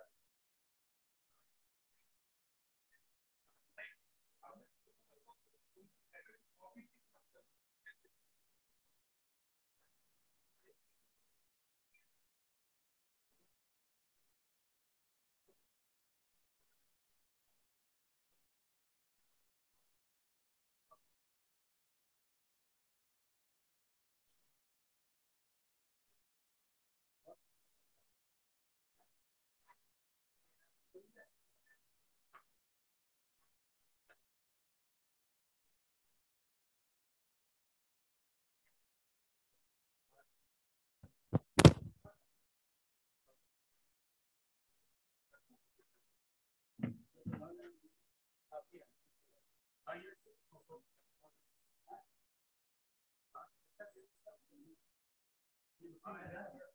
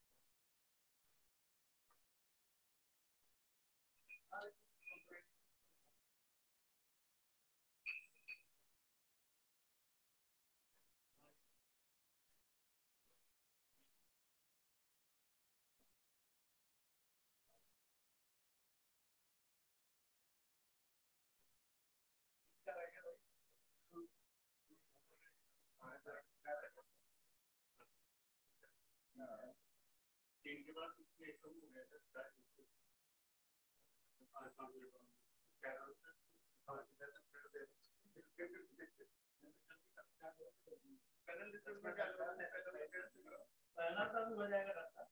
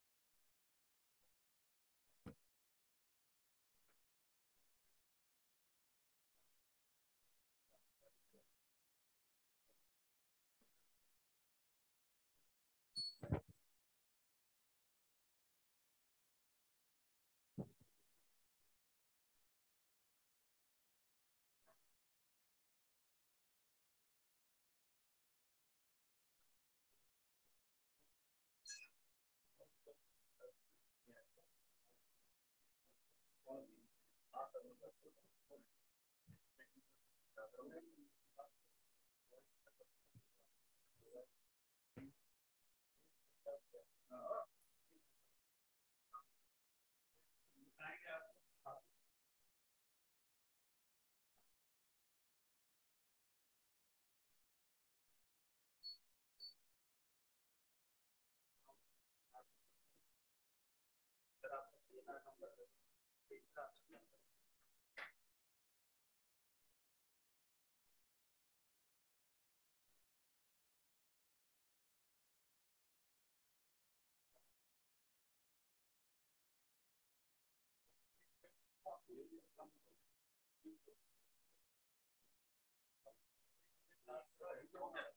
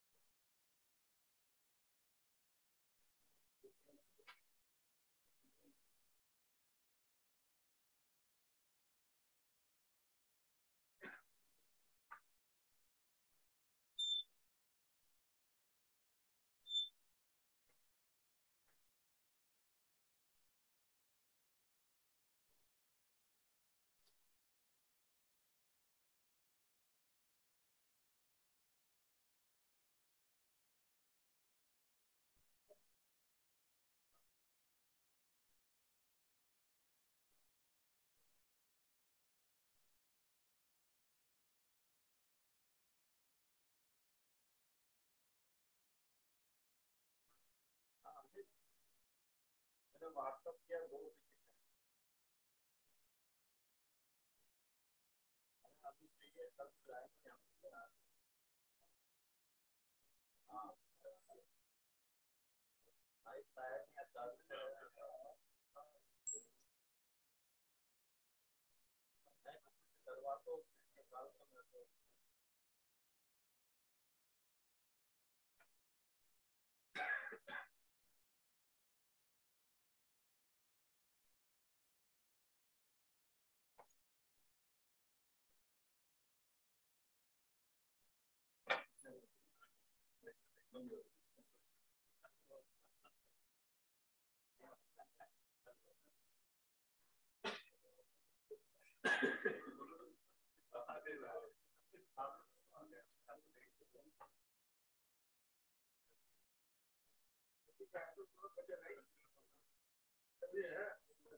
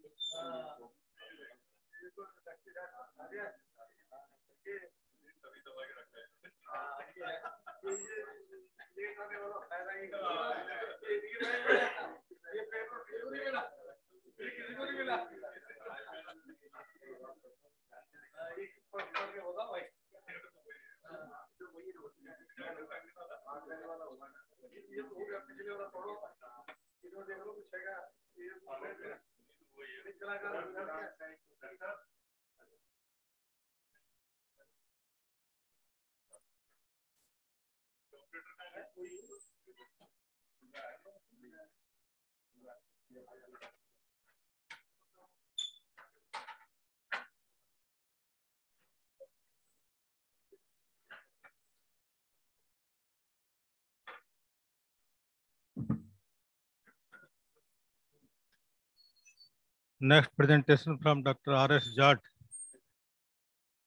Principal Scientist from DRMR. Resource Conservation Technologies for Rapeseed Mustard, Production and Productivity. एक मिनट सर आन कर।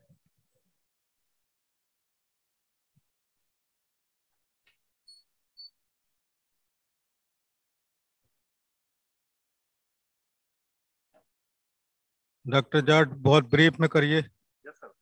क्योंकि नेक्स्ट सेशन भी हमारा ऑलरेडी काफ़ी डिले हो गया है। Respected professor Arvind Kumar sir former vice chancellor R L B C I U Jhansi Co-Chairman Dr. P.K. Sir, Director DRMR, and uh, dignitaries of the dais. Uh, my topic is on resource conservation technologies in rapeseed mustard. As we know that present day concerns increasing uh, the effects of climate change, mainly declining factor productivity and declining groundwater table, low water use efficiency, and plateauing the crop yields at reduced biodiversity, multi-nutrient deficiency. Most of the nutrients uh, nowadays become deficient in, uh, all over India in patches. Labor and energy shortage are there. High production cost, diminishing farm product profitability, rampant of degradation of natural resources, and climatic variability. These are the uh, very much uh, important present concerns like uh, they affect the uh, land degradation, water erosion, and crop residue burning. These are the most, most important issues that uh, needs to be tackled in the present times to increase the production and nutrient or factor productivity.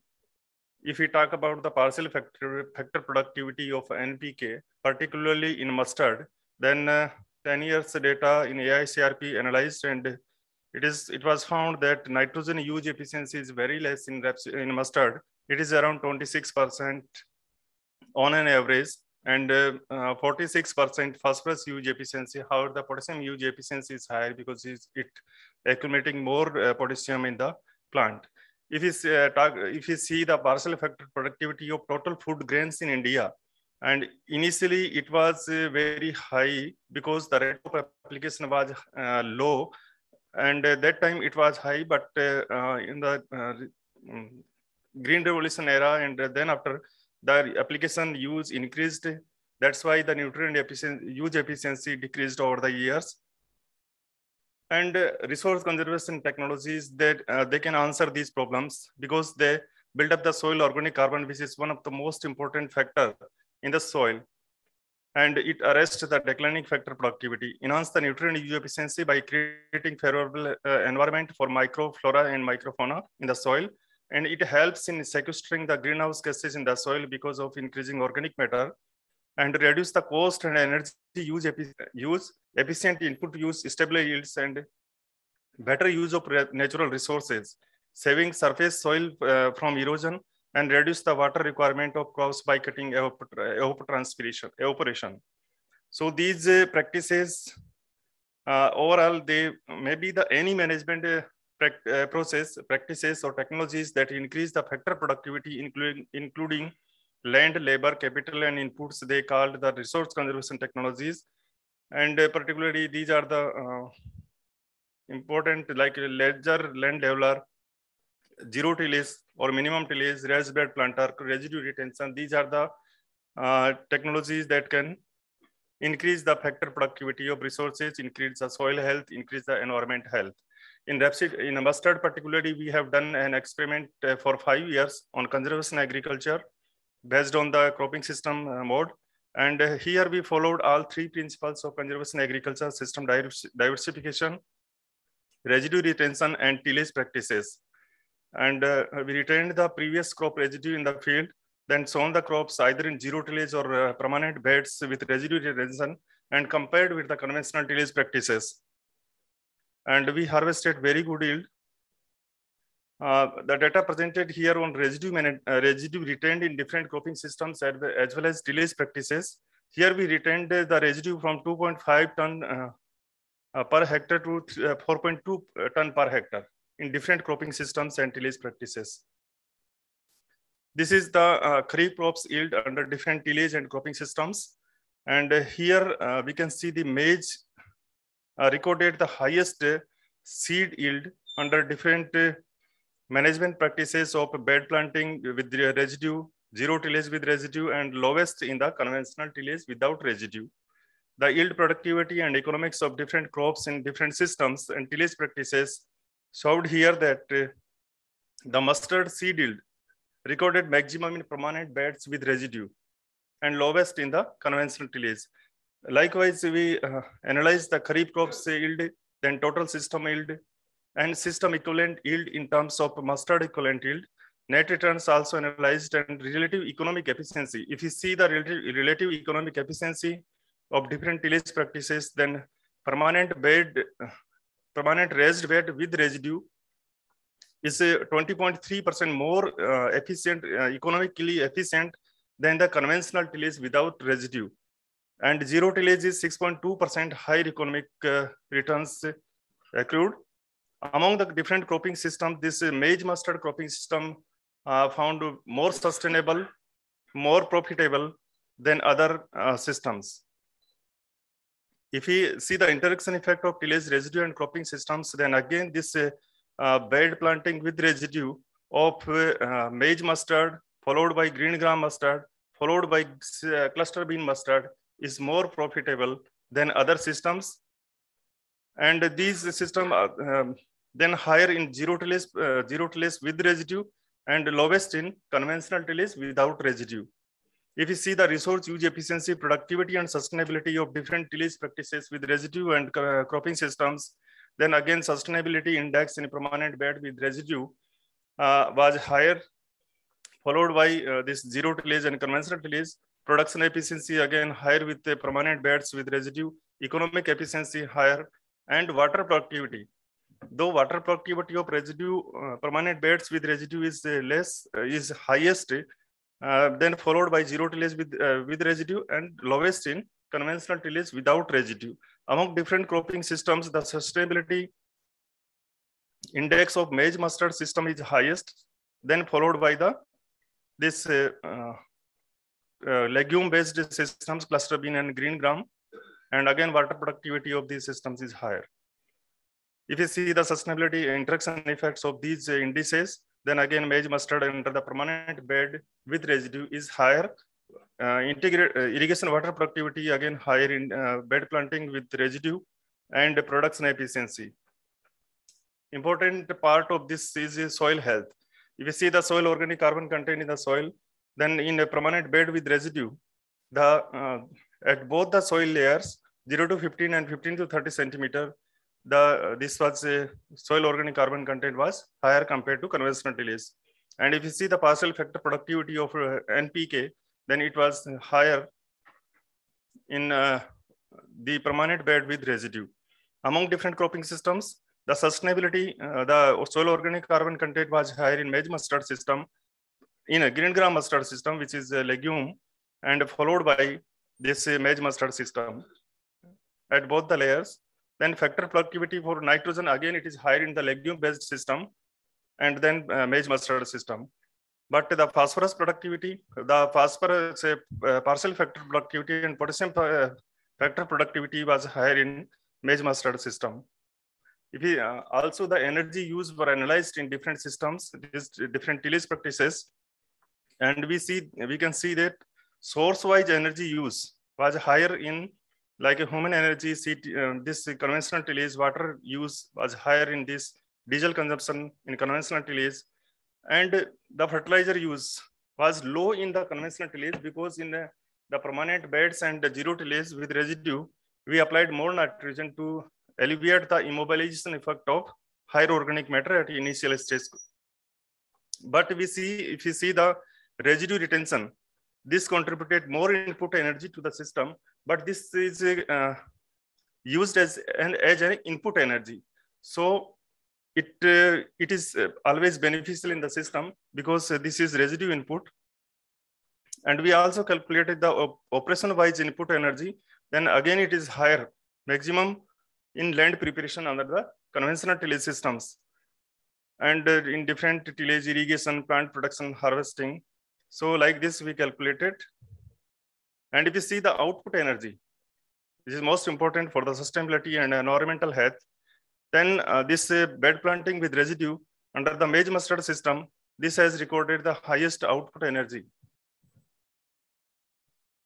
So this is about the factor productivity and use of different factors. Uh, they're more efficiently and uh, more useful. But uh, if you see the nutrient use efficiency at different uh, increasing levels of the crop yield simultaneously with the, their application rates, that at initial stage with low yield and low uh, nutrient application, the nutrient use efficiency was higher. But with the increasing application rates and the uh, crop yield increased but at decreasing rates, the mis uh, Mr. uh, law of diminishing return applied here. And at the maximum yield, the yield was highest, but the nutrient efficiency, nutrient use efficiency was lowest. So how to increase this uh, uh, nutrient use efficiency under these conditions? So conservation agriculture can, uh, can might be a answer and they can they can be used to increase the genetic potential of the crops to increase the nutrient use efficiency. But the adoption of these uh, CA practices is still low. Farmers are not adopting these practices because of certain uh, constants. Like they believe that the traditional way of cultivation, they still they believe that this is the best system. And the second most important constant is machinery. The machinery is not, not available for conservation agriculture practices. And uh, the third important was the farmers, they don't know anything about the seed. Like uh, it means they are not aware uh, with these technologies. Then they, uh, at the, uh, during the initial years, they reduce the yields and farmers fear that they, their productivity may go down. But uh, in the long term, these practices are very beneficial. So thank is, you. Thank you, sir. Thank you, Doctor. There are implements available, but maybe not tuned to the mustard crop like Happy Seeder and yes. so many, you know, uh, tractor driven implements have come up and conservation agriculture now is picking up. The target is to bring from 3.2 million hectares to around 20 million hectares yes. in next uh, by 2030. So this is technology which is the technology for the future. Okay, thank you very much. Thank you, sir. Uh, next is uh, Dr. Pankaj Sharma, Principal Scientist uh, from DRMR Bharatpur, Advances in Rapeseed Mustard Disease Management. Over to Dr. Sharma. Uh, please uh, be brief. Try to sum up within the given time. Awesome.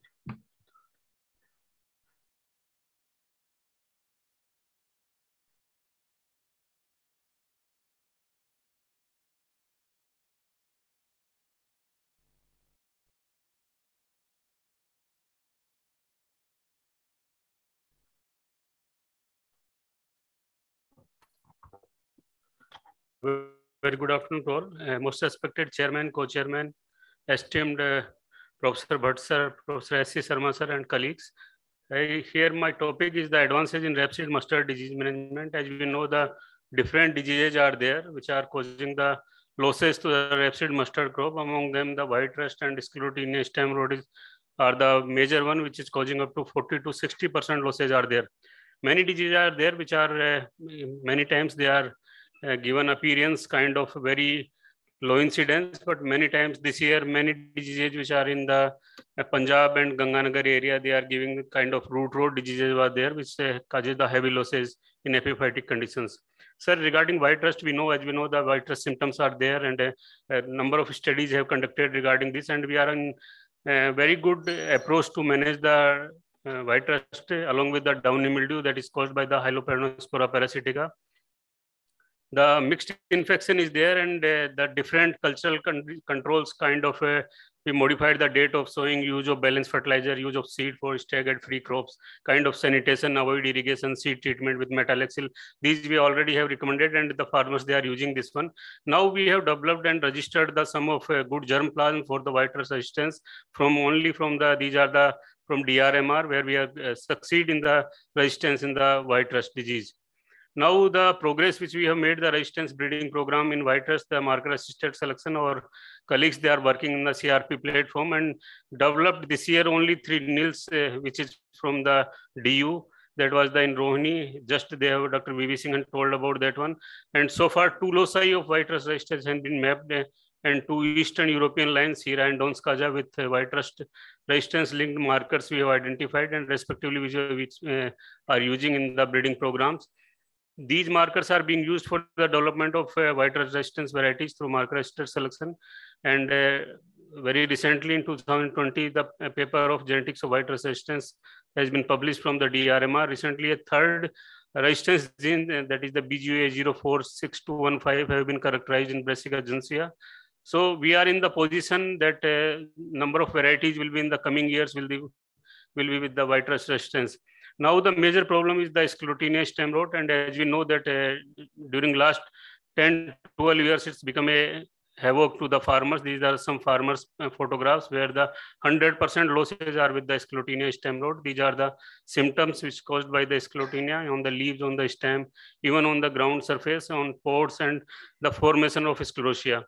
Forecasting models very early we have developed and now farmers, we are giving them, well, after validation, we are telling them the best time when they can use the fungicides or use the trichoderma for control of the sclerotinia rot. Cultural management is one of the important thing in the sclerotinia and the plant spacing 30 by 2 now we have improved that one by 45 into 20 that will gives the low incidence of the disease and irrigation management one of the important thing where that no irrigation during the 25th december to 15 january is one of the kind of uh, technique that farmers can use and easily manage if there is no winter rains are there.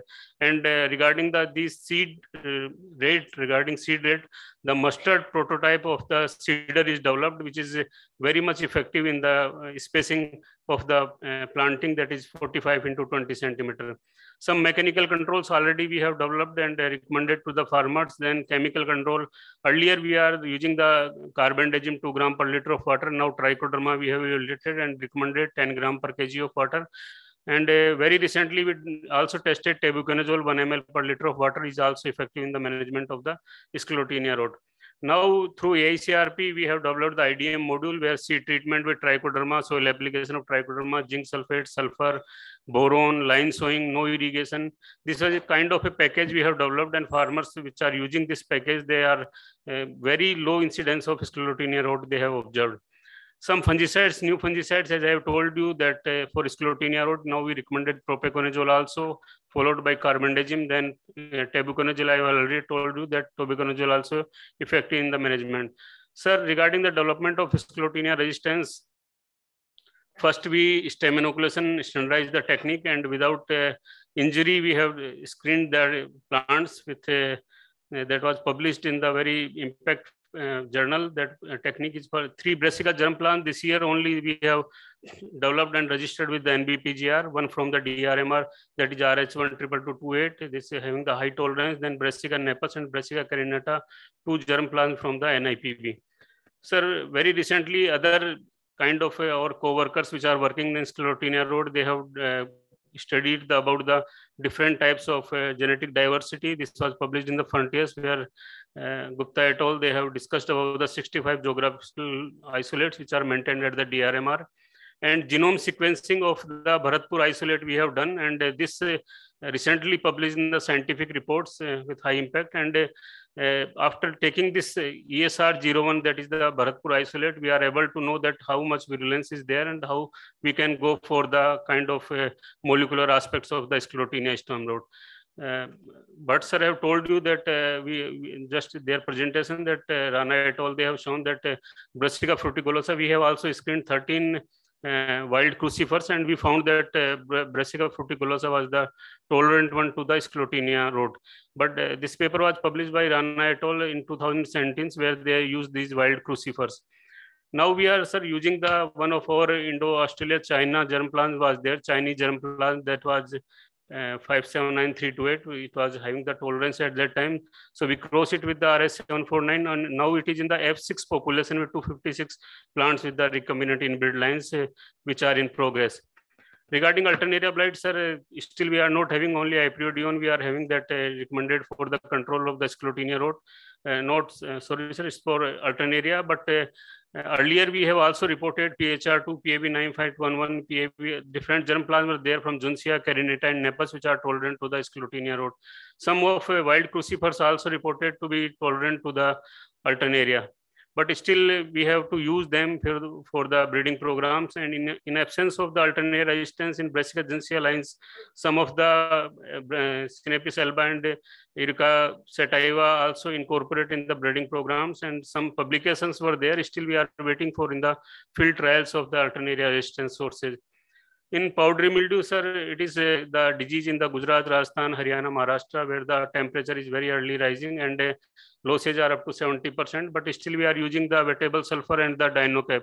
In some of advances, some lines uh, or or colleague from the Wellington, and Dr. Janandana reported some germ plasm which are tolerant to powdery mildew. We have to use them for the breeding programs and see that uh, what kind of uh, results will be there in the field condition.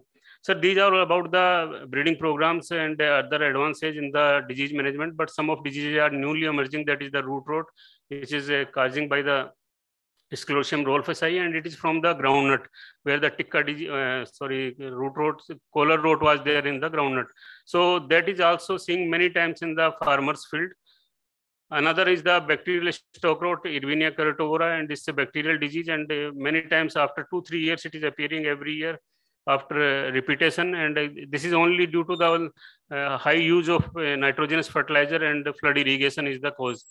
Damping off one of the disease using that seed treatment with apron, fusarium wilt, minor diseases using the trichoderma, bacterial rot, that is the xanthomonas. We are and it is also using with the copper oxychloride or streptocycline we can use to manage that. Then club root is the only we are not having still any chemical we have to use only lime amendment is there and it is a major problem in the West Bengal, Assam and the uh, kind of Nilgiri hills.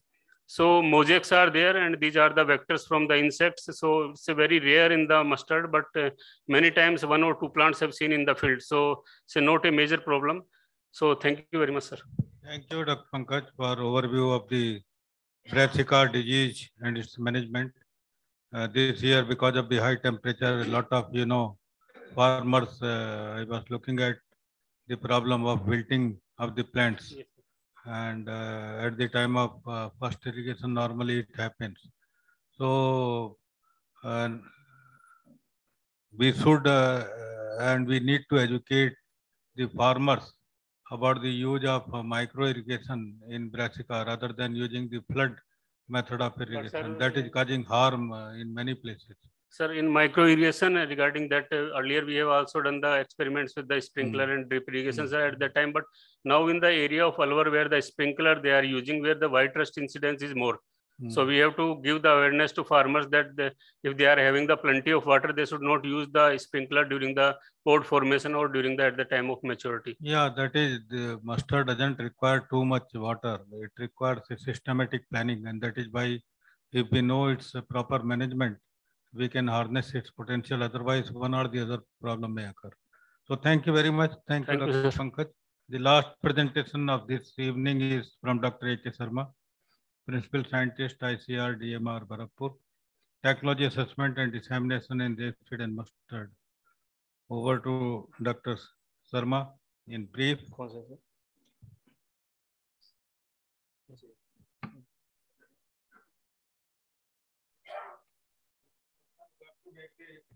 oral presentation, they must be ready. so that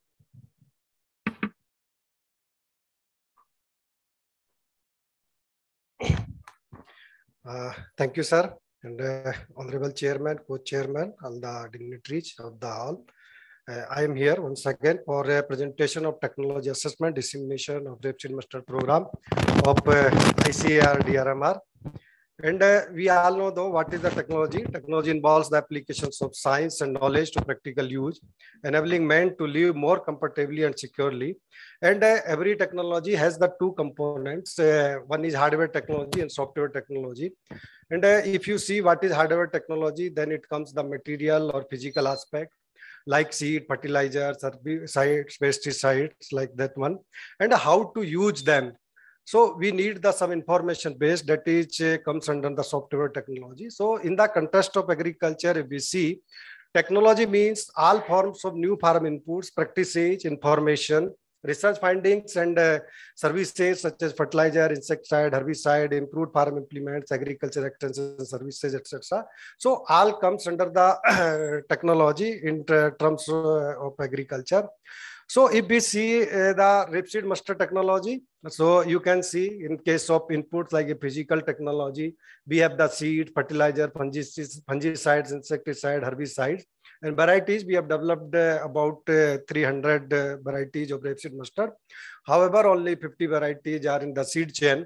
And when we see the agronomic practices, then uh, sowing time, application of fertilizer, weed management, irrigation management, thinning, weeding, harvesting, all comes under the agronomic practices. Likewise, identification of disease pest and their management, use of extension methods, media, and all type of agriculture machineries uh, are also available. uh, as a technology for rapeseed mustard. And uh, now our duty to that these technologies should be reached timely to the farmers. And although as a research institute, we have our limitations for technology dissemination programs.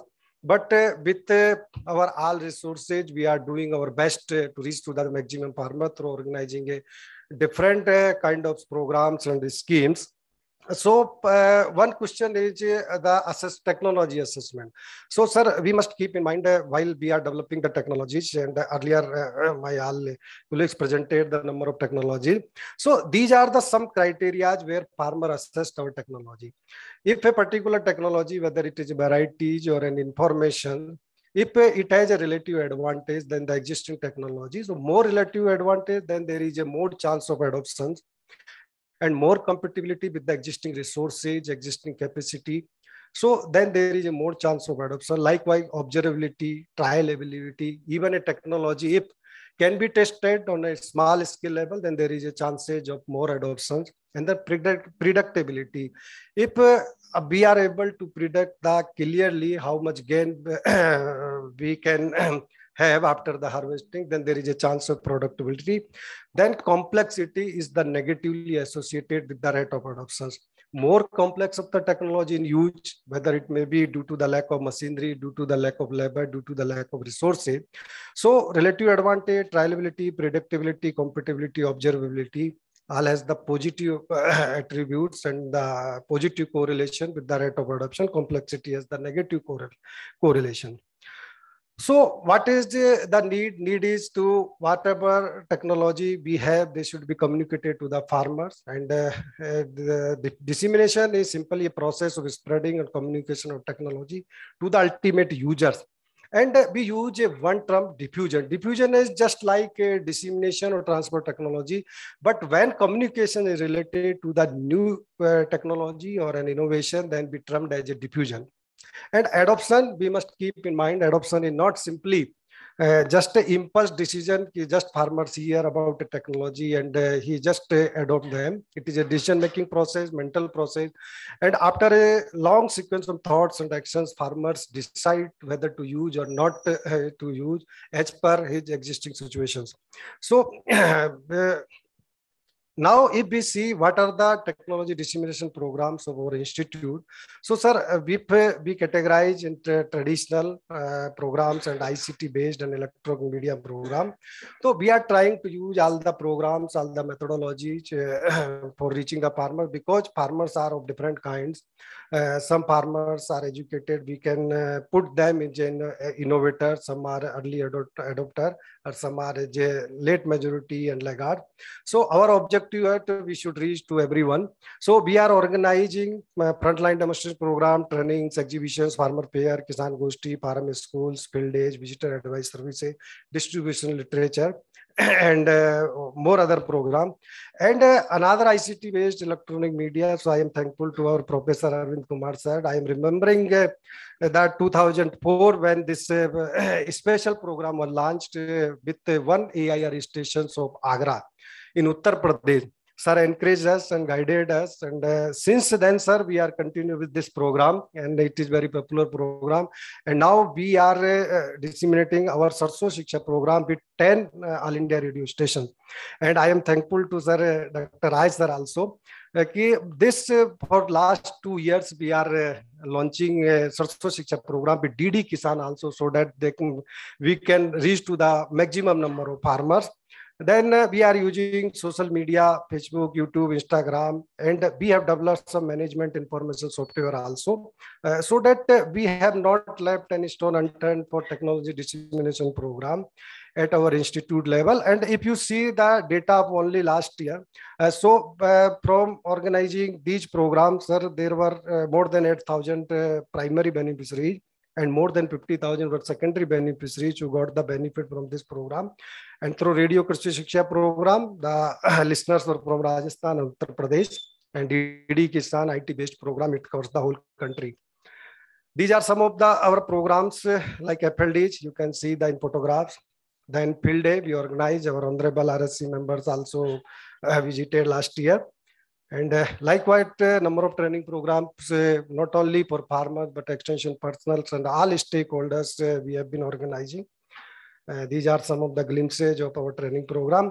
Uh, then one another methodology at Sarso Farm schools, we have been regularly organizing at the farm field. Then we are organizing the exhibitions at different places and different occasions. Then we have uh, advisory uh, visitors advisory services. Number of farmers uh, visit, number of extension personnel visit sponsored by department or some FPOs or private agencies. Uh, we are providing technical advisory to them and uh, regularly publishing technical folders, bulletins for uh, distributions of the farmer. And uh, this is uh, last year we covered uh, through 10 AI some of the glimpses. And this is another popular program in view of the uh, use of uh, mobile phones and video also. So this is another uh, our popular program. Then we have on Facebook page regularly providing information at, to the, our users and uh, YouTube channels are also uh, we are using. And uh, we have, sir, our computer scientist uh, did uh, excellent work for developing and the rapeseed mustard research and production information management. We have a good website containing all informations of uh, uh, not only production technology, but all kind of information. Then rapeseed mustard information system fertiliser application recommendation manager aphid warning system rapeseed mustard digital photo library publication information system rapeseed mustard disease management system germplasm information system all type of software we have develop and any can take the information by using these and our link is available on our website And uh, sir, beside this, uh, we have some flagship program. You all know Mera Gaurav. Uh, and uh, tribe component, NEH component, scheduled caste component. Through these program, we are organized the crop demonstration, frontline demonstrations, trainings, and uh, and uh, number of farmers got benefited from these program. So these are some of the glimpses of uh, this Mera Gaon, Mera scheduled tribe component, which is being implemented in Jharkhand, uh, uh, 7 kV cage and uh, Atari, uh, Patna. Likewise, scheduled tribe component program, we are uh, implementing in different districts, different states. NEH component we are doing in Northeast Eastern, scheduled caste component, and we have linkages with the private sector and IPO so that we can reach to number of groups of the farmers. And uh, another flagship program already our honorable director has presented, Dr. Hazarika has presented what we are doing in Assam. Uh, these are some of the glimpses. So thank you so much, sir. Thank you. Thank you, Dr. Sharma. Very nice presentation. Thank you. Uh, now we uh, come to an end uh, uh, about these, uh, you know, brief presentations by Dr. B.B. Singh, Dr. H.K. Sharma, Dr. Jad, Dr. Pankaj Sharma, and Dr. A.K. Sharma. And if you have any query or question out of these uh, five presentations, you may like to raise at this point of time.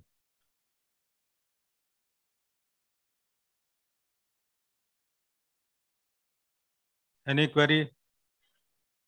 People are available here. So if not, thank you very much. Thank you, Dr. Sharma, you, for an excellent uh, extension strategy Thank you. and sir. lot of efforts for uh, carrying forward the massive technology gap is to be filled up and it is being filled up. Thank you very okay, much. Thank you. Uh, now we have rapid uh, oral PowerPoint presentation. Yeah, four hmm. yeah. Okay, so we have now four rapid uh, presentation.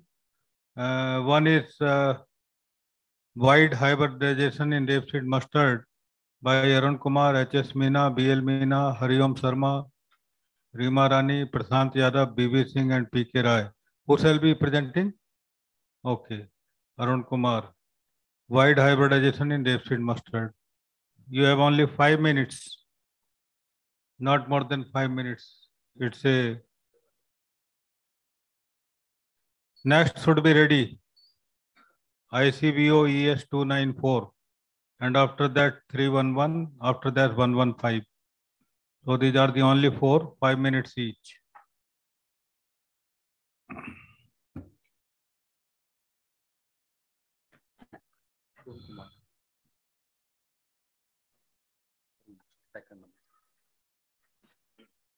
आप पहले से feed कर दीजिए क्योंकि इसमें time फिर waste होता है। वे क्विक नहीं नहीं।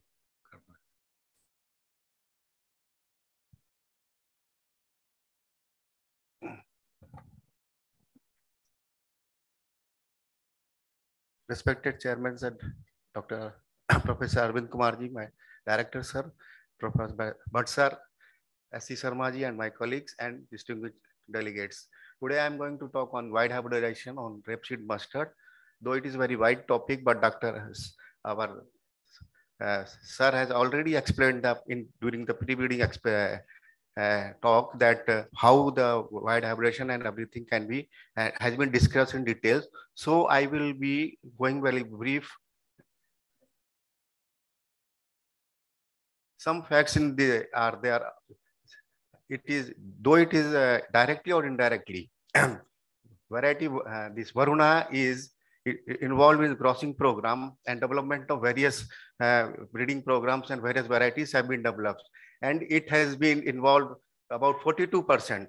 So like these other varieties, uh, mostly Krishna, uh, Kranti, Krishna, Rohini, Urvashi, and all these are have been uh, there. So directly or indirectly, this Varuna has been contributed more than 42% and uh, other varieties such as uh, uh, Kranti and other varieties which are included in the, are used in hybridization program.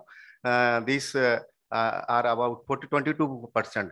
Due to this, there is a narrowing of uh, narrow gene pool in the uh, for further improvement of Brassica program. And this also leads to the narrowing of the uh, genetic variability. And therefore, so there are many, uh, some studies that is use of wild species for, for desirable traits, etc. And re, re, uh, then broadening the genetic base during the resynthesis, restructuring of plant sites like this. There are several uh, studies are available. So I will be uh, uh, briefly talking about this wide hybridizations. Since already it is already discussed that, that uh, the there are pre and post barriers are available are there due to this uh, this wide hybridization is cannot be easily obtained. So there this must be uh, first barriers should be removed or developed methods would be done and breeders have been uh, developing this, uh, trying to develop the various uh, uh, uh crosses. And this is the Brassica genomic evolution. And this is the uh, desirable wide plus various species, more than about 100 species are available for various characters. And below table shows some of the species which I have utilized in the recent years for the development of this uh, uh, wide hybrids for genet genet widening the genetic pool and diversification of the uh, this brassica crop. Uh, hand emasculation is very uh, is, is, very useful in this brassica species for uh, hybridization. Uh, in, this is the interspecies cross between this carinata and uh, Juncea and cytologically also proven morphological, cytological, everything has been completed. This is the F2 variability showing, you can see the, through the pictures and after, uh, and after in the net term of this uh, total hybridization was that uh, short duration, less than 127 days, low height and uh, high IL content, one genetic stock has been registered with the uh, NBPGR in during 1920s. Next, uh, which I have used this uh, 24 type, which is known for drought and other various uh, disease uh, content. I have this is crossed with the rapa and uh, cytological and marker markers were also used for its hybridity. And uh, during this, uh, two, two, three, about 26 genotypes have been identified, which are um, they are very showing very, variability in terms of this hide plant and everything. And and uh, in, in after nine generation, we I have tried to uh, still find out the hybridity uh, and through markers, uh, SSR marker, and three to four genotypes are have been identified. And next, this Brassica fruticulosa, which is uh, known to be tolerant to aphid uh, uh, in natural conditions. In which, in this, what I have tried, this I have introduced uh, colchicine uh, uh, chromosome development and I have converted into alpha tetraploid. Then it was utilized in the hybridization in the Brassica uh, and three crosses has been obtained, and namely uh, Rohini and Proticlos, uh, Varuna and Lakshmi varieties. And all the cytological and everything has been done. And uh, marker uh, and hybridity was proved. And after uh, and now these uh, derived lines and uh, advanced lines, uh, which have been uh, firstly identified, screened at PU Ludhiana. Now I'm screening these lines at uh, hotspot at uh, SK Nagar and two to three genotypes or lines are being identified. And this, this is a view picture view. You can see the uh, tolerant lines at SK Nagar last year photograph at and these lines at Bharatpur are showing only one or two single plants are showing the and infestations, not full line or everything is available. Since uh, in, at Bharatpur condition, aphid infestation is not as compared to uh, SK Nagar. And other crosses are also, I am trying to show generate variability through interspecific crosses to for diversification of this gene pool. And uh, you can see some appraised and dominant type gold seeded variety are, been, uh, are there. Uh, so, uh, so, in the end, I would like to conclude that wide hybridization can provide materials that are useful for both developing practical breeding strategies and for studying genetic effect of the individual crop on a particular trait. This includes estimating number of genes that control the linkage map. Using this knowledge, genetic improvement of the Brassica can be further enhanced. Thank you. Thank you. Thank you, Dr. Arun Kumar. The next uh, presentation is uh, from uh, Amita Singh, Rakesh Chaudhary, Chitij Gupta, Ansuman Singh, S.K. Chaturvedi, Vijay Kumar Yadav, Morphophysiological Diversity of Indian Mustard, uh, Germ Plan for Terminal Heat Tolerance. Dr. Rakesh Chaudhary will present.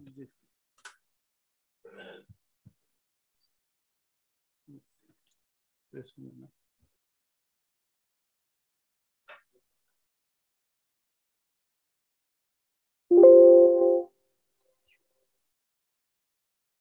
Just in brief, uh, you can leave the introductory part. Okay. Good evening, respected Chairman, sir, Professor Arvind Kumar, sir, uh, Co-Chairman, sir, Dr. Uh, P.K. Rai, sir, and uh, uh, Senior Dr. S.C. Sharma, sir, S.R. Bhatt, sir, and other senior uh, researcher in Mustard Group, and my dear friends. So here I am presenting the morphophysiological diversity in Indian mustard germplasm for terminal heat tolerance. I am escaping the introductory part. It has been already covered, but uh, we can see the productivity gap in the Bundelkhand region.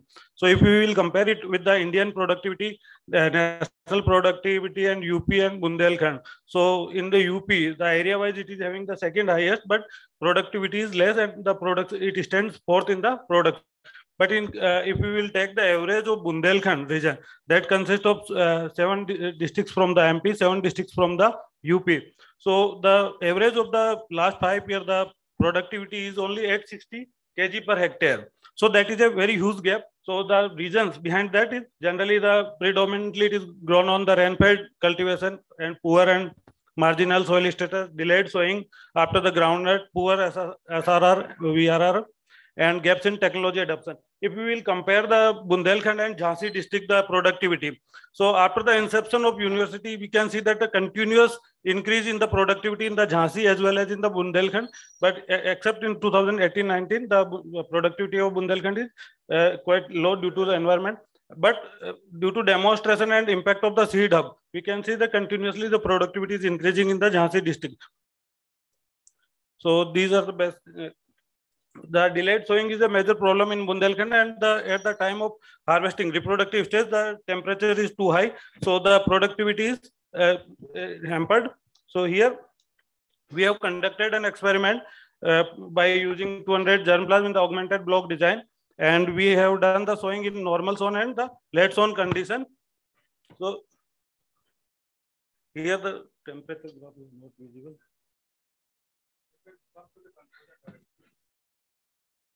So with that, uh, in the March, the temperature is too high and it uh, reaches to the 40, uh, 40 degree centigrade. And then we uh, analyzed the genotype and we found that the uh, nine genotypes we found uh, promising for this and the major impact was on the number of secondary branches has been reduced in the late sown condition.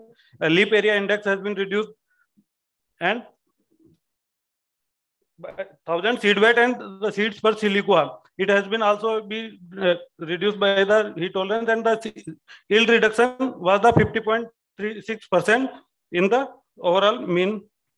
So we found, based on the heat stability index and yield stability index, we found that these were the promising genotypes. Uh, I acknowledge also ICAR DRMR uh, who have provided uh, these genotypes and some we have procured from the NBPGR. So these were the genotypes and NDRE4 recorded the minimum heat stability index and uh, in case of the, it also given the highest yield stability index. So we have grouped these genotypes based on the cluster analysis and we found that all nine genotypes are found in different clusters. So we can make use, they are having the diversity in that and we can make use of in the crossing program. So Thank you. Thank you, Thank you Dr. Rakesh. Thank, Thank you.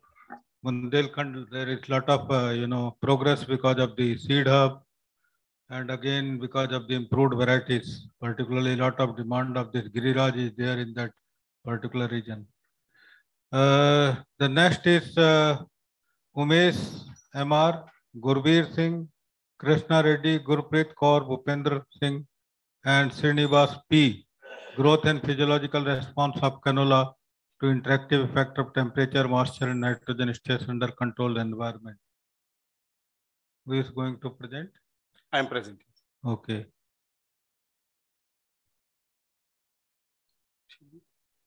Amar Umesh. Okay. So respected chairman, co-chairman, and mustard group and fellow scientists, I'm here to present uh, some of the brief results of growth and physiological response of canola with uh, influenced by the, the different day and night temperature, moisture and nutrient status under a controlled environment. So as we know, canola is uh, uh famous or uh, like major uh, the cool season crops, majorly grown in Canada, like USA and Australia because it has like uh, the the the fat content is really good as compared to other uh, the major oilseed crops because it contains only 6% saturated and remaining 94% uh, is uh, good uh, polyunsaturated the fat. Then canola we know it is canadian oil low acid. Why it is imported in those areas means it is grown in two parts. One is in winter canola or fall season canola and another one is spring canola. Uh, we conducted this particular uh, experiment to know the high temperature influence on the, the, the, canopy characters, root characters, and the photosynthetic behavior of uh, the canola crop. And uh, we also tested the moisture stress effect, nitrogen stress effect on the canopy and root characters.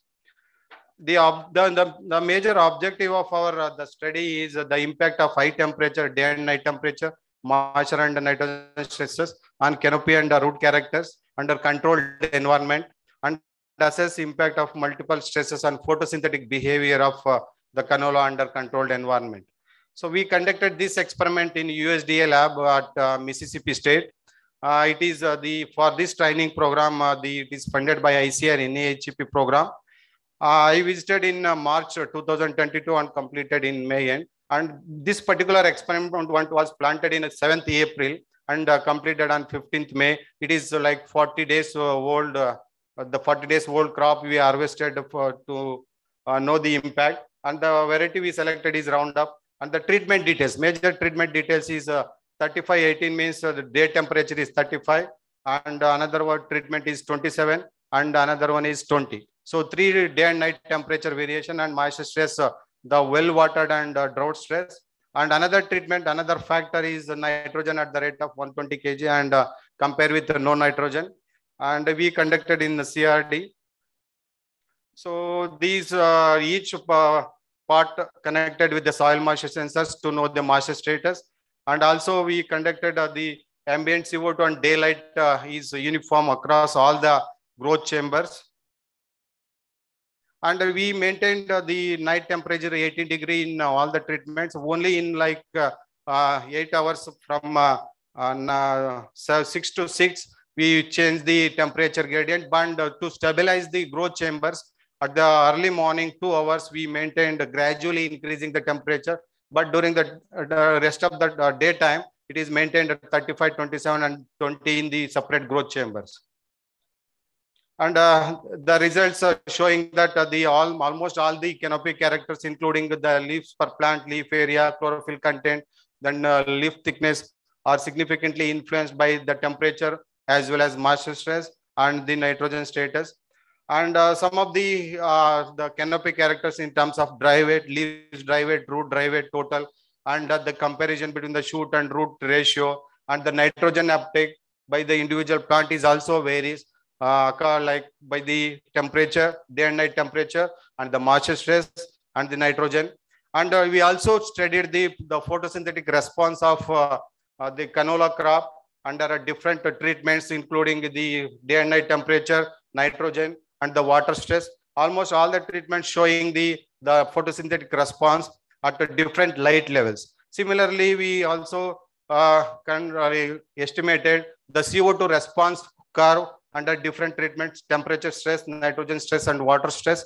It is also showing uh, some the significant difference among the treatments and analysis of variance of uh, different uh, the canopy characters as well as root characters also showing uh, the influence by day and night temperature, nitrogen, and the moisture stress.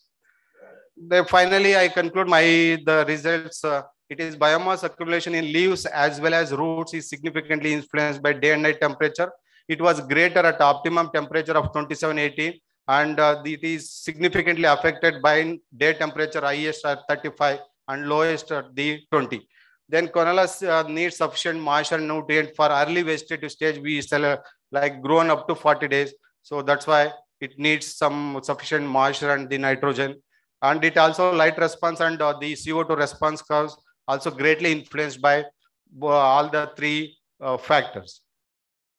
And you can see the, the difference in the, the plant growth at a different uh, the temperature and also you can see the root characteristics of different the moisture stress. Uh, individual uh, the pot, we uh, separated the roots. Thank you. Sir. Thank you. Thank you, Dr. Omer. You got an opportunity under NAHEP project. This is, yes, yes. This is good. And that's what we wanted that people should go and learn over there and gain a confidence. So thank you for the good work you have undertaken over there. There definitely there is a impact of day and night temperature on brassica. Correct. Uh, next, next presentation is uh, by Dr. Naveen C. Gupta from National Institute of Plant Biotechnology. Topic is not given to me, so you can indicate your topic.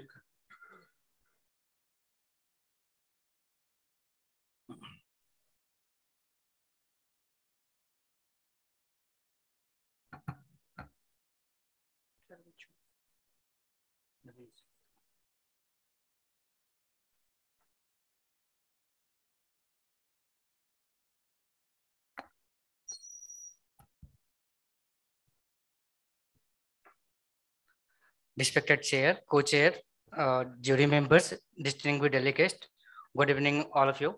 Uh, this is one of the component uh, on which I am working to understand the Sclerotinia sclerotiorum and Brassica pathosystem. So this is the metabolomic component. And uh, on this aspect, we are trying to analyze and study the secondary metabolites analysis in the broad host range plant pathogenic fungus Sclerotinia sclerotiorum, which is causing the stem rot disease in brassica.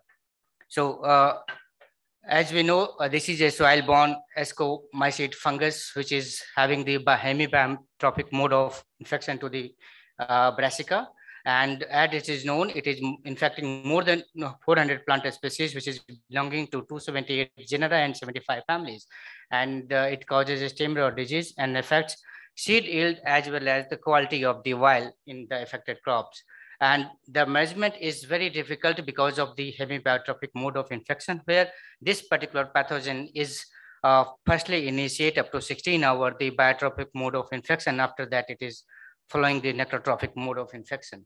And it is having the wind dispersal of the spores, which is generated in the field, as well as it is having the carpogenic mode of infection to the plant. So that's why the infection it is being very devastating in the favorite conditions, which is mid-December to mid-January. And it is having the longer persistence in the soils because of the persistent uh, sclerotium in the field.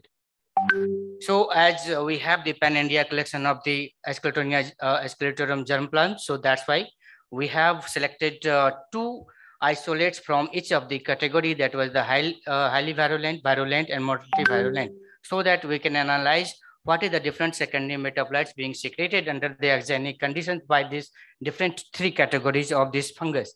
And then with the, uh, this is the chromatogram of the three, uh, six different isolates, which uh, uh, was depicted. And then these chromatograms, the major peaks were analyzed. And then based on the adduct addition as well as the subtraction of the adducts into the identified uh, chemical compounds, we have analyzed and identified 10 different metabolites, which is being secreted by this pathogen. And out of these 10 metabolites, the uh, six uh, metabolites, which is being reported for the first time, which is uh, being secreted by Sclerotinia sclerotiorum under the genic conditions, out of which five were already known from the different Botrytis cinerea fungus. So based on these metabolites identified, we have also tried to correlate the phylogenetic analysis of these selected metabolites, uh, uh, uh selected Sclerotinia isolates. And we have identified that if we are trying to phylogenetically uh, categorize these isolates based on the secondary metabolites, then it is having difference from the what we have studied based on their virulence as well as their geographical origin. So that's uh, categorization is very different as we can uh, see here in the uh, uh tree that uh, the highly virulent isolate, it is going along with this uh, virulent strain as well as the moderately virulent, it is going with the highly virulent. So that's why the categorization based on the secondary metabolites, it is far different from the virulence as well as the geographical uh, differences. Apart from this, we have recently published the draft genome sequencing of Sclerotinia sclerotiorum, and that genome sequence were also analyzed to identify the different genomic uh, regions which is being expressing this uh, gene cluster, which is involved in secondary metabolite biosynthesis.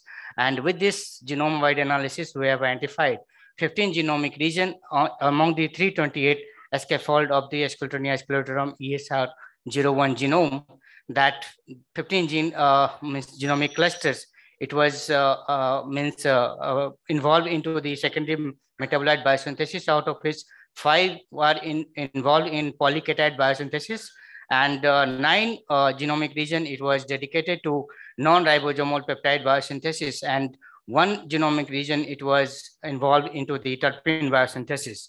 So among these all, uh, the three different uh, uh, means genomic regions, which is involved in botcinic acid biosynthesis, naphthalene, as well as squalene uh, biosynthesis. So there are different genes particularly involved into these genomic clusters. So those gene is, has been already uh, under a study so that we can identify the virulence factor.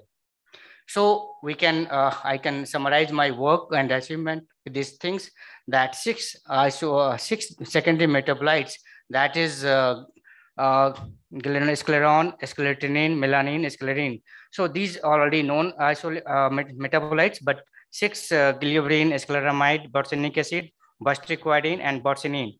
So these are the uh, first time we have reported from this metabolite studies.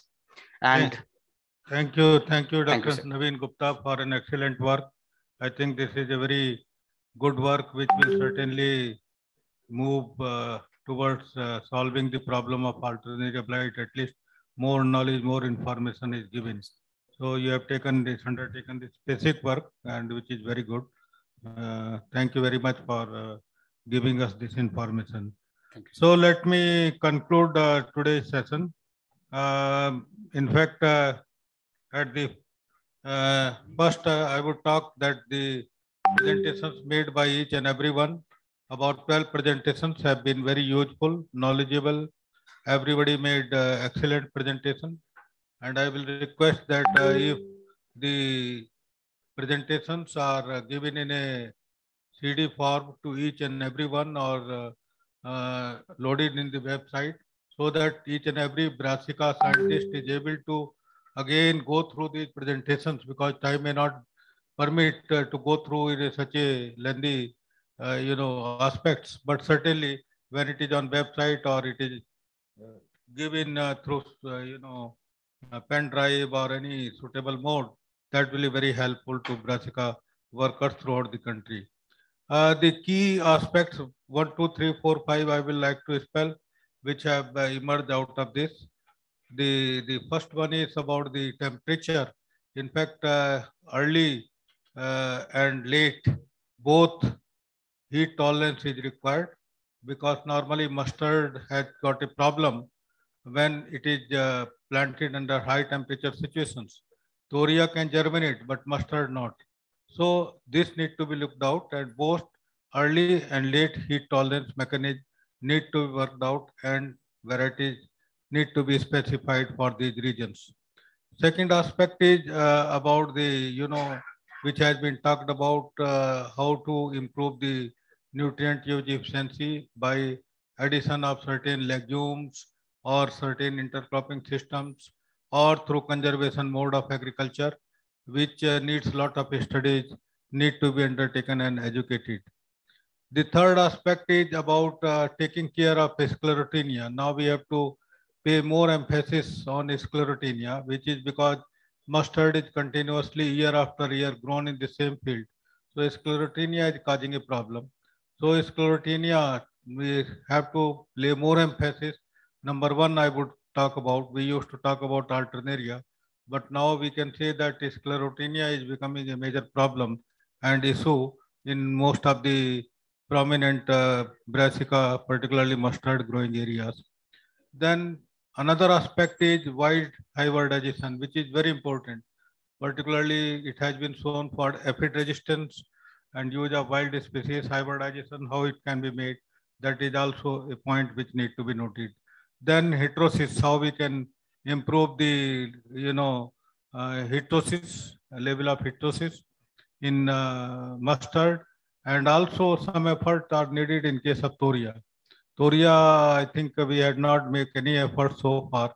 Uh, in mustard, Juncea we have made, Napus we have made. So we need to again look into, because in northeastern part, still many parts, Toria is an important crop. And from north almost it used to be there in maize Toria rotation, which has now completely washed away. So this need to be looked into. Then certain measures like uh, trap crop and, you know, uh, the crop like uh, coriander was given an example by Dr. H. Sharma and certain technology needs to be taken, carry forward, further tested and disseminated to farming community. And also the extension management, extension strategy. I would say it's a management now, how you manage the farmers, it's a technique. And a lot of, uh, you know, radio Shiksha program, TV program have taken place. Uh, this is good, but still uh, many, uh, you know, farmers are not fully aware about the timely application of technology.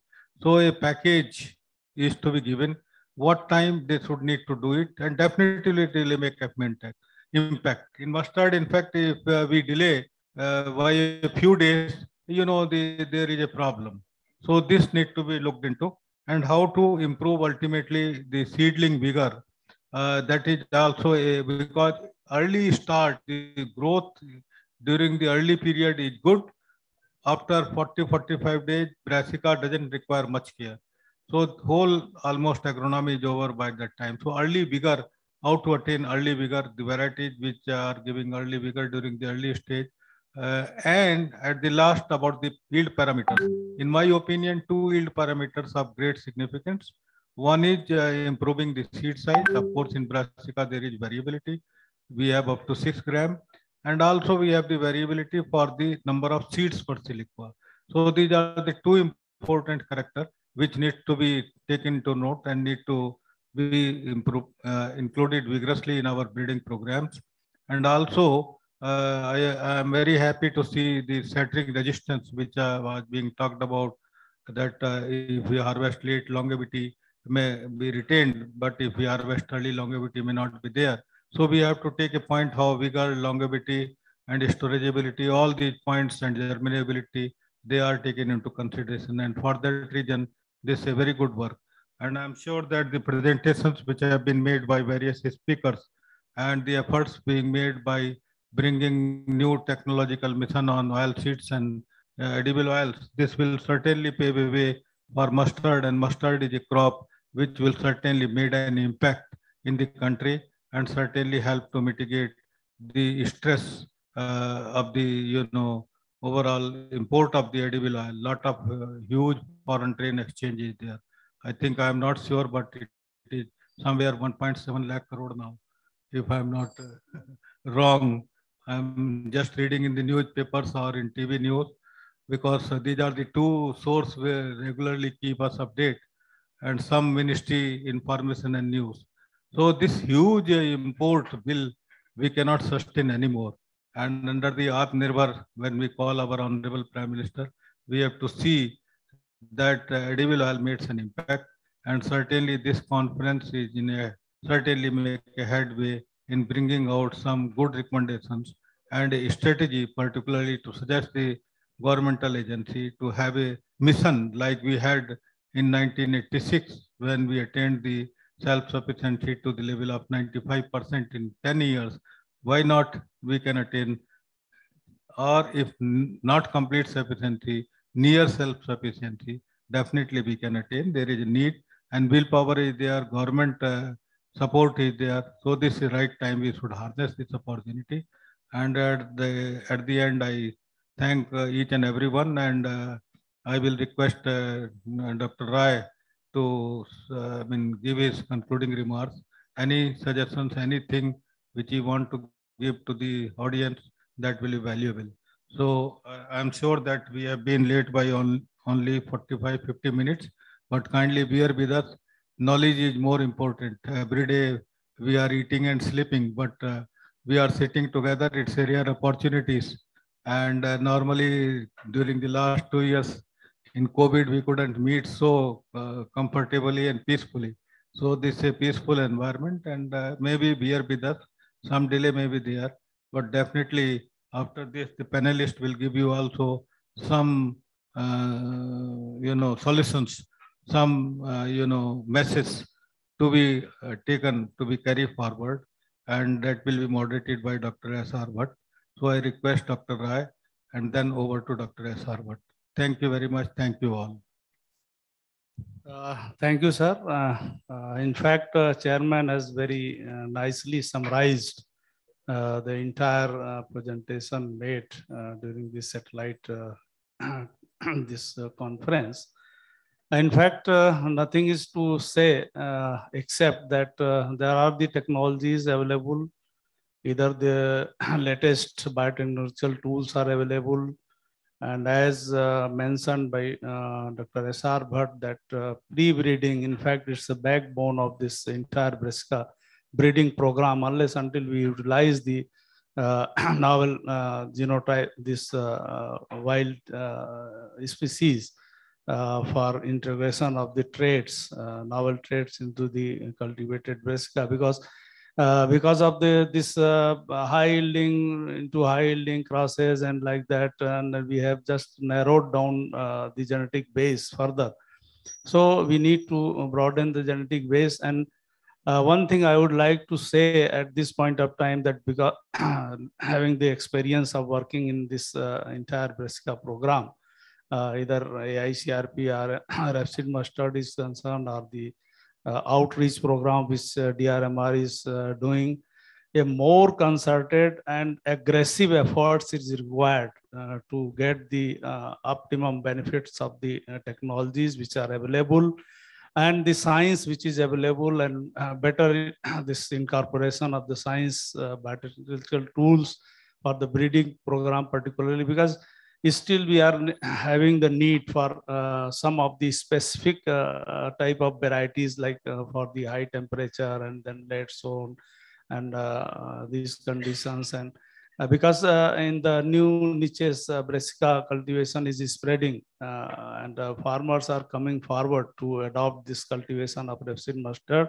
which is a very good thing but uh, still uh, sometimes uh, recently a few days back we observed this frost injury has caused a lot of damage in the rajasthan haryana and the delhi and some part of the Madhya Pradesh. So we must think over this also because once in a two or three, three, four years, uh, this uh, this is this has become a regular feature. And under the climate change uh, conditions, we will definitely regular intervals we will observe such type of uh, such type of calamities. And uh, as I have also mentioned, and Dr. Sarma has mentioned, Pankaj Sarma, that uh, suddenly one uh, minor disease has assumed a very uh, major, uh, actually uh, serious uh, uh, this form in some part of the Rajasthan. So we must look onto those uh, things uh, through uh, ourselves and through ICRP centers and all the Brassica uh, researchers working uh, in different part of the country. So uh, thanks a lot for being the part of this satellite conference and the take home message very well Dr. Arvind Kumar sir has uh, given points and I will uh, make sure that these points would go as a, recommendations of this uh, satellite sessions of uh, this uh, very important crop. And uh, I will urge again that uh, do the concerted and aggressive approach to use the technologies, to disseminate the technologies to the farmers so that they could get uh, maximum benefit uh, out of this uh, cultivation of rapeseed mustard uh, crop. Uh, thank you. Thank you very much. Sir, just a minute. So thank you very much. uh, And uh, thank you very much, sir, for conducting a nice uh, this satellite symposium. I request to chairman and co-chairman to give a moment of love to all speakers. I invite Dr. V.V. Singh.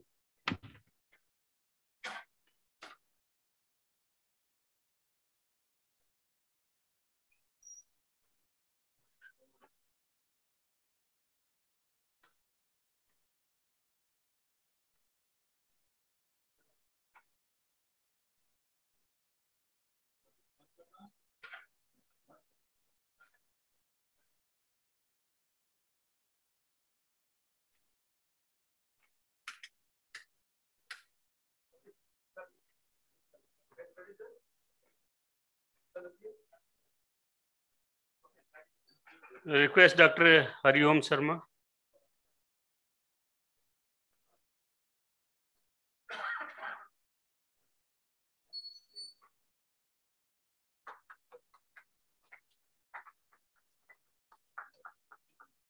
doctor R S Jat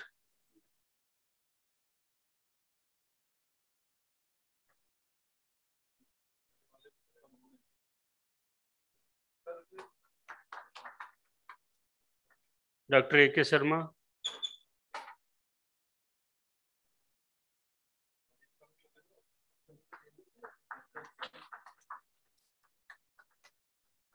Myself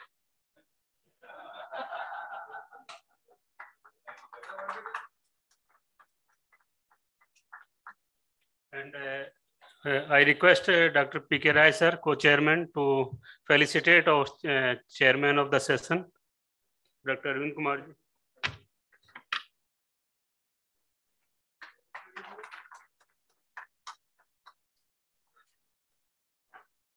Thank you very much, sir. And request uh, uh, Dr. S.R. Bhatt, sir, to take the panel discussion.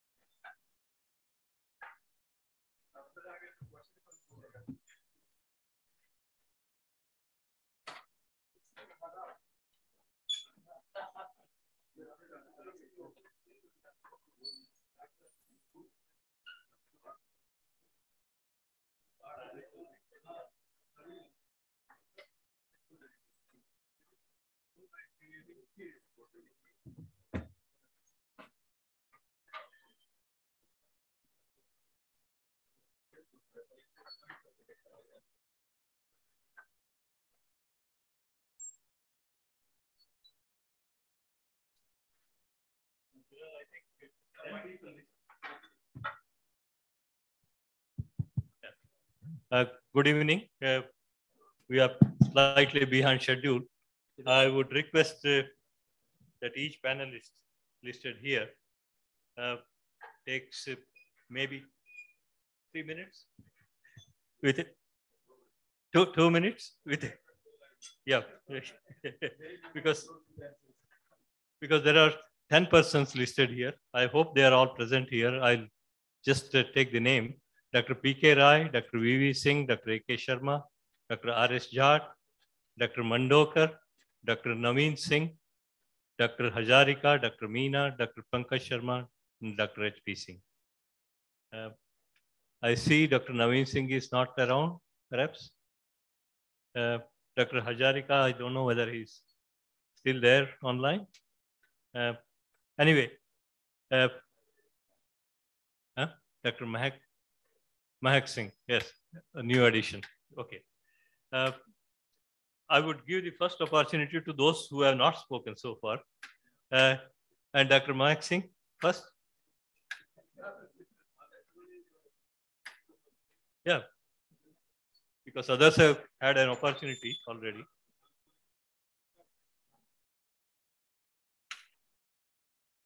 Keep this light on, please. Respected Chairman, sir,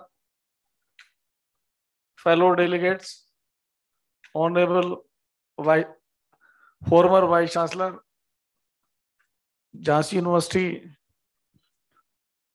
Director P. K. Rai, sir. Kanpur is a very leading center. 23 varieties of rapeseed mustard have been developed from 1936 up to 2022.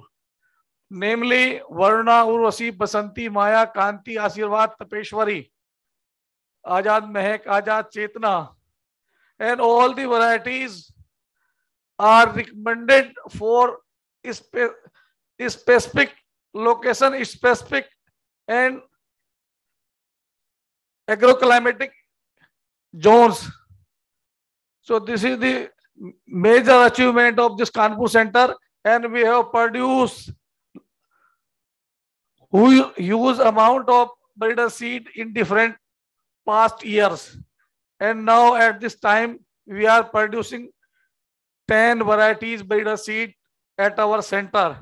Now we have sufficient quantity of yellow sarson breeder seed and thoria varieties and rapeseed mustard varieties. Because nowadays only two persons are working in our ACRIP system. So we have very in human human power very less. So sorry, we are not doing more as we hope. Thank you. Uh, thank you, Dr. Mahak Singh. Can I Sir. make can I make a suggestion to the panelists that you say one thing? What what's the bottleneck? First point, and second, what we should be doing in future.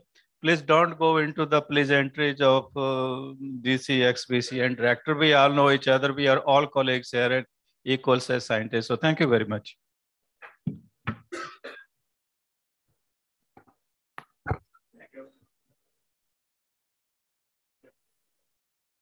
Now I call Dr. H.P. Singh.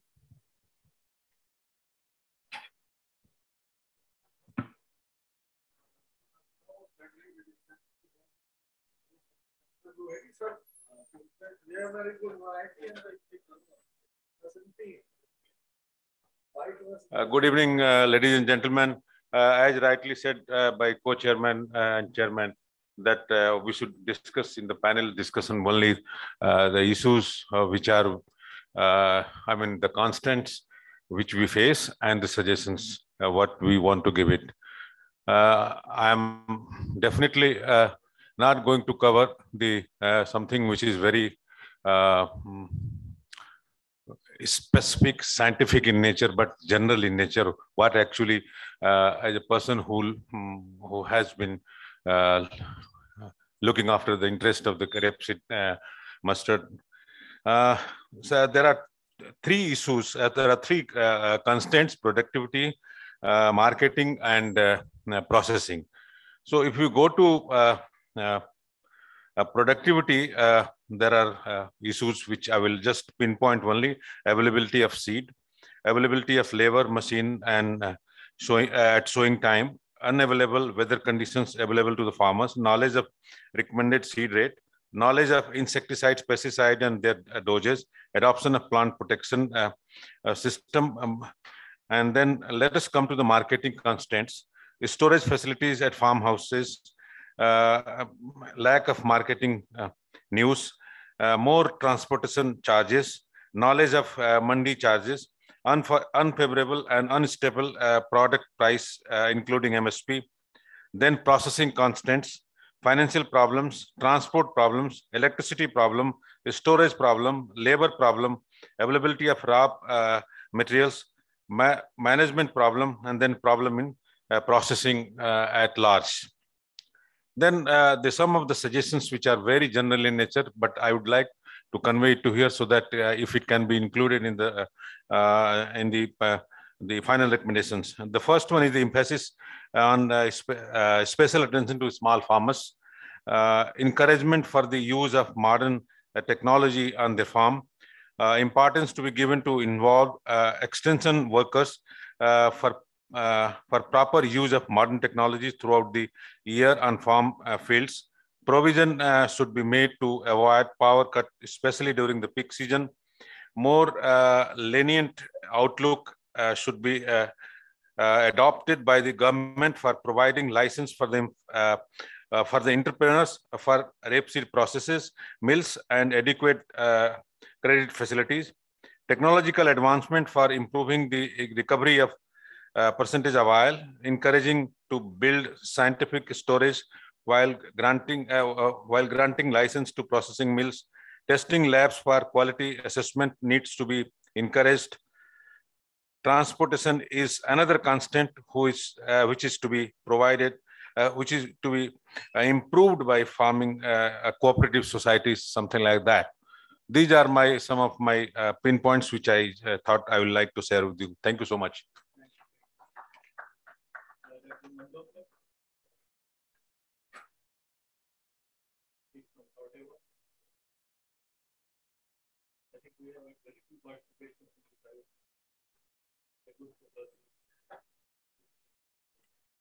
Yeah, good evening, everyone. Uh, respected uh, Dr. Bhatt, Dr. Sharma, Dr. Kumar. Uh, uh so with respect to the time constraint, I will directly go to the constraint. And uh, what I've seen from the presentation is we're talking about the technology. Dr. Bhatt has talked about QTLs and mapping, all those stuff. But I think technology has moved far away from these QTLs. And one of the technology for genetic gain improvement is genomic selection. And this is the need of our now. And what I feel is in mustard, we have not used this technology and there is a tremendous opportunity for using the technology. That is one thing. Uh, many times I had public-private relationship. I coming from private sector now. I, I was part of ICAR. I know ICAR and uh, uh, private sector, but there is no exchange of germplasm. When you talk about germplasm, people are skeptical. We are private people. We don't want to share. But I think there is win-win situation. We probably need germplasm, but we can provide the technology. Companies are very advanced in, in terms of technology, in terms of genomic selection, genome association mapping, and all those complex traits. So those technologies, and those capabilities we have at Corteva and most of the multinational companies. So what I feel the time, the, the need is that let us have this collaboration public partner partnership, public private partnership and if you can exchange those germplasm technologies, idea, I think we can make a great success. Uh, that's my submission. Thank you very much.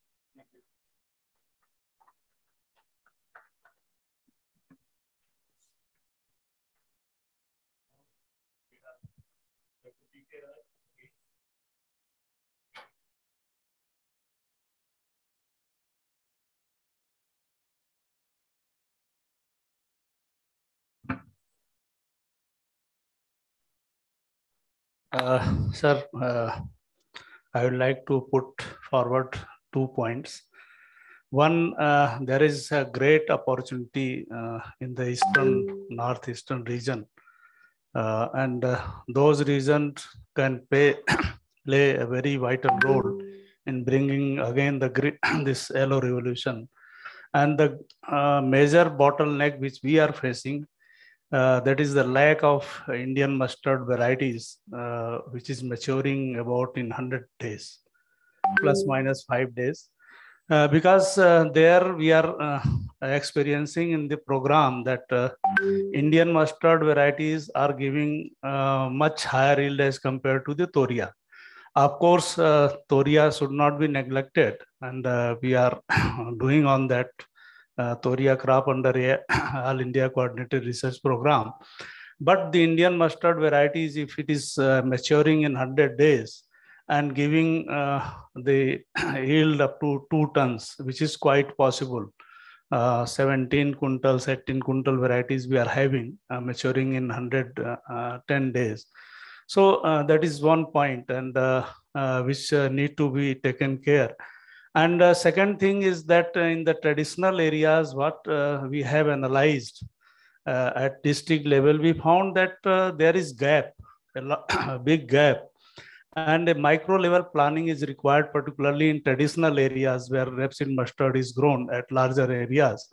And uh, this technology uh, is not reaching up to the farmers. So as I said earlier that uh, there is a need to uh, some aggressive efforts, concentrated effort to bring the technology to the farmers so that they can take the advantage of uh, the technologies which are available and which are giving uh, the higher yield under the uh, frontline demonstrations.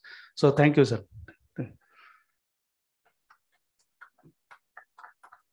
Now I invite Dr. V.V. Singh.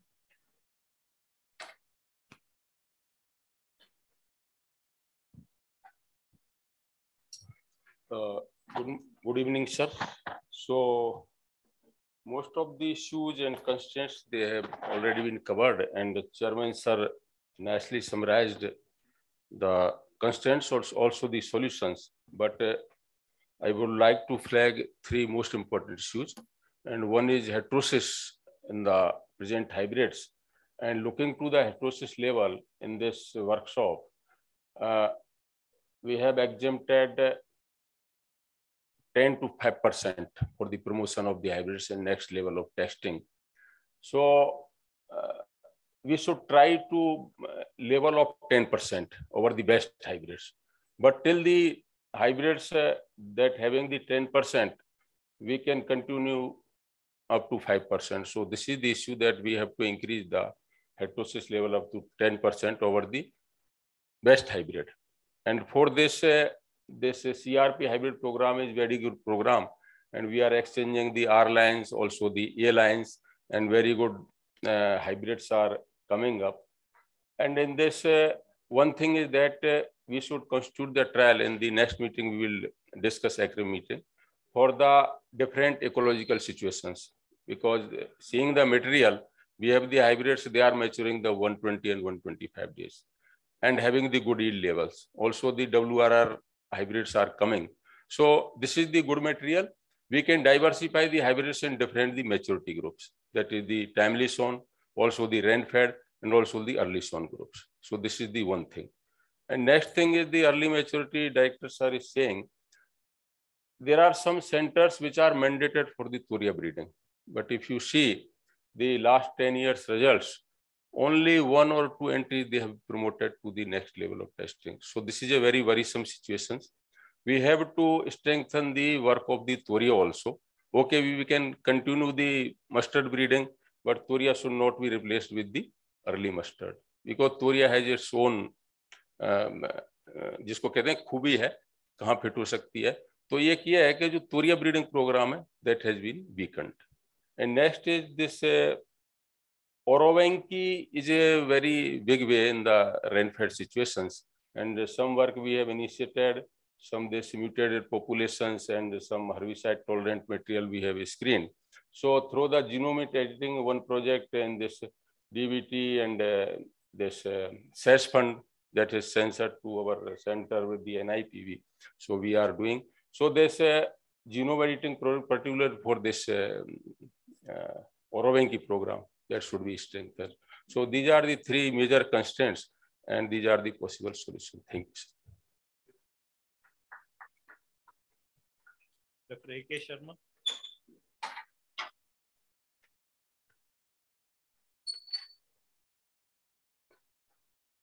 Yeah, thank you very much, sir, and honorable chairman, co-chairman, all the dignitaries. As uh, we have uh, already discussed and we have been discussing that uh, there is a need to take the technology to the ultimate users. But uh, sir, as I feel there is a one constraint uh, and why there is always a gap of uh, more than even 50% in some states because there is a lack of coordination among different agencies. And even uh, we have seen that uh, whatever the varieties we have recommended for a particular state, but seed agency is producing the seed of the another variety. And what we are uh, recommending in term form of the fungicide, insecticide, they are not available in the market. And what are available in the market, we are not recommending them. So again, if uh, we talk about the farmer, oil processor, even I have seen that uh, nowadays, you know, that uh, market prices are decided by the oil content only. So there is a paradigm shift emerge among the farmers. So there is a need to educate uh, all the stakeholders. And uh, we should uh, concentrate uh, uh, for in the under the direction of the one agency, whether it may be DRMR or other agencies, what should be the advocating. I think all the agencies are working alone I I don't know what uh, seed NSC is producing, what seed uh, other RSS is producing. So there is a need for a better coordination among all the stakeholders, all the agencies. And uh, next one point uh, is, sir, it is surprising that uh, government of India has launched a mega mustard mission program from 2020. And uh, national mission and oil seed is also being launched very soon but there is no role of any ICAR Institute of all Seeds. So there should be involvement of ICAR Institute. Directors should be in the planning, implementation, and monitoring when we are going to launch such a mega. So even we don't know how many demonstrations have been given to a particular state, which variety they have selected, all have been decided by the top level. And when we see the content, then we realized that this variety should not go for uh, particular state. For example, long duration varieties have been given in the northeastern regions. So the, these are the two points uh, I feel there is a lack of coordination among different agencies and uh, every state, at least ICAR Institute should be involved for the guidance and uh, for the uh, planning, implementation, monitoring. That's all, sir. Thank you. Thank you. You have raised a very important issue. Particularly, I would like to take one minute here. Uh, if the uh, ICAR institutes working on oilseed crops are not consulted, uh, it would be a serious uh,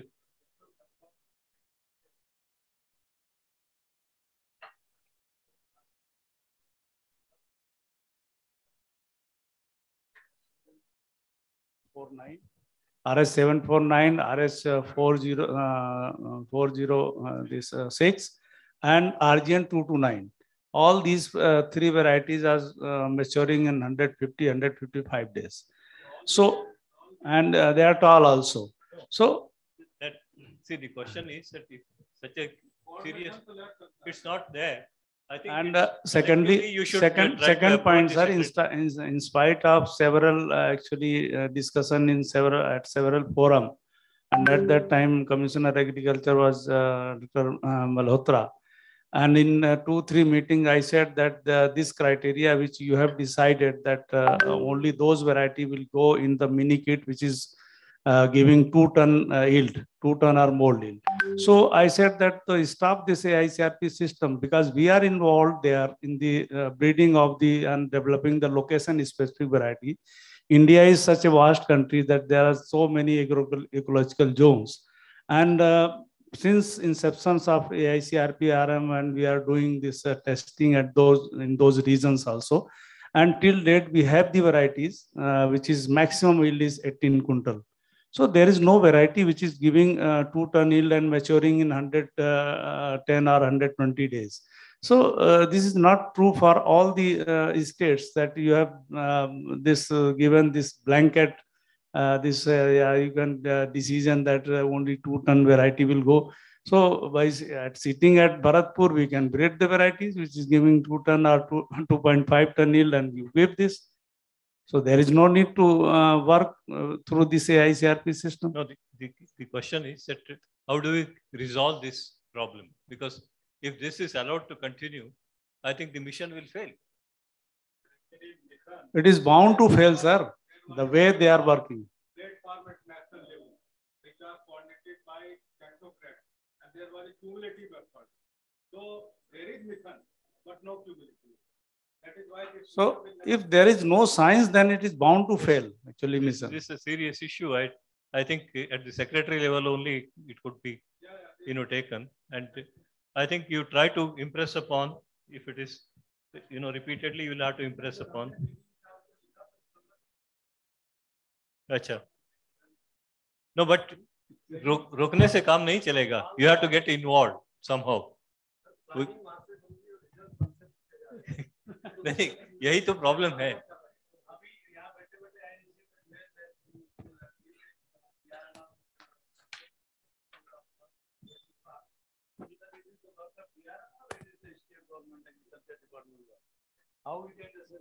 Yeah, the, have any mechanism to assess the real losses which is caused by this frost. it's good that it is highlighted. Yeah. But try to find a solution because uh, otherwise the mission is bound to fail. And Sir, the blame will also last, come to last us, year what unfortunately. happened because of the hot waves, untimely hot waves, uh, for some times it happened and 20, 20, uh, 10 to 25% losses uh, occurred in wheat as well as in mustard. Initially, government was in the denial mode, uh, DSC was in denial mode, then there is was, there is no loss, no loss, this, that. So uh, coordination का तो है ही है sir, कहीं coordination है ही नहीं. हाँ ये ये ये इंटरनेशनल कॉन्फ्रेंस हुआ है ना which is it is very timely that there is the mission on and uh, this And, and this could be across the, all the oilseed crops. yes Yes. Major problem है कि जो यहाँ वृक्षोपण बात होती है और स्टेट गवर्नमेंट वाले अपनी मर्ज़ी से एफएलडी देते हैं किसी से पूछते हो वो सीट वो नहीं, वही लिफ्ट नहीं करते नंबर एक बात नंबर दो बात जो हमारे क्षेत्र के लिए रिकमेंड नहीं है उसका सीट वो डिस्ट्रीब्यूट कर देते हैं। वो वो हम हम सबको पता है कि जो स्टेट स्टेट लेवल की आपकी पैकेज ऑफ़ प्रैक्टिस इसमें आपकी वैरायटी भी नहीं होगी। ये ये सब प्रॉब्लम है। Okay I call to doctor chart R S chart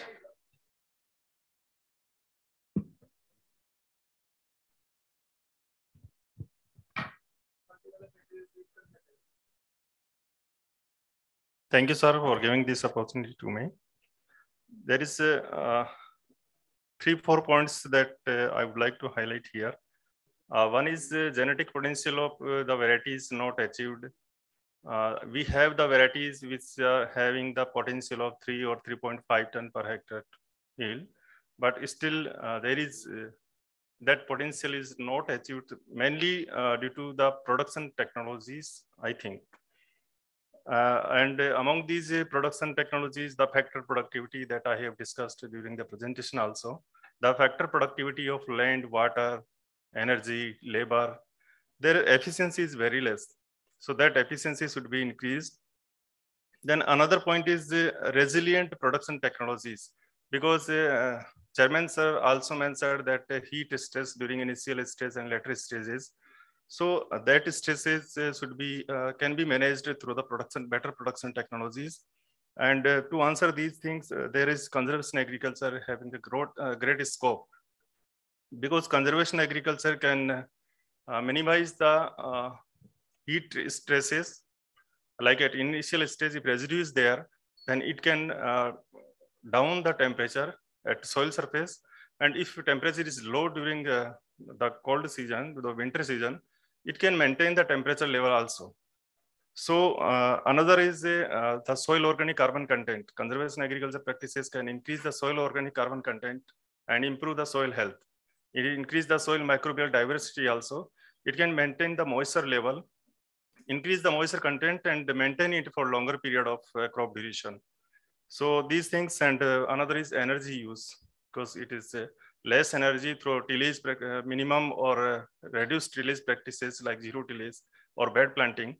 So there will be less uh, inputs in the cultivation practices, less labor use, less weed problem, except perennial weeds, there will be no problem of annual weeds because of residue mulching.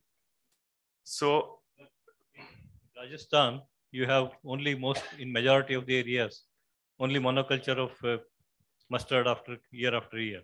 Yes. In such situation, what residues will you have? But what crop can fit in that area in the Kharif season, we should take that crop and we should uh, maintain the residue of that crop. Like uh, in our experiment, uh, we selected six cropping systems. Uh, we also taken the uh, cluster bean as uh, one crop in the Kharif season. So whatever residue like green gram, it 100% residue can be incorporated, can be retained because after picking the pods, the whole residue can be retained in the field.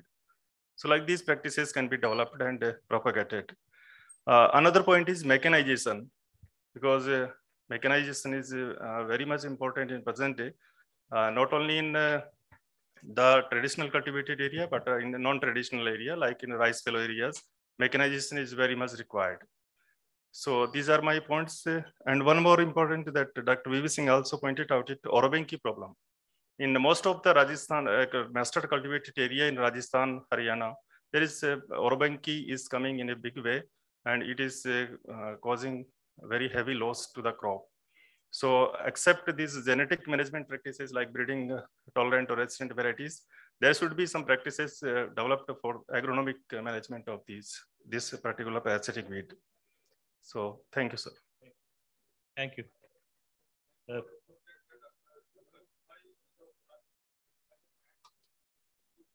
Definitely S.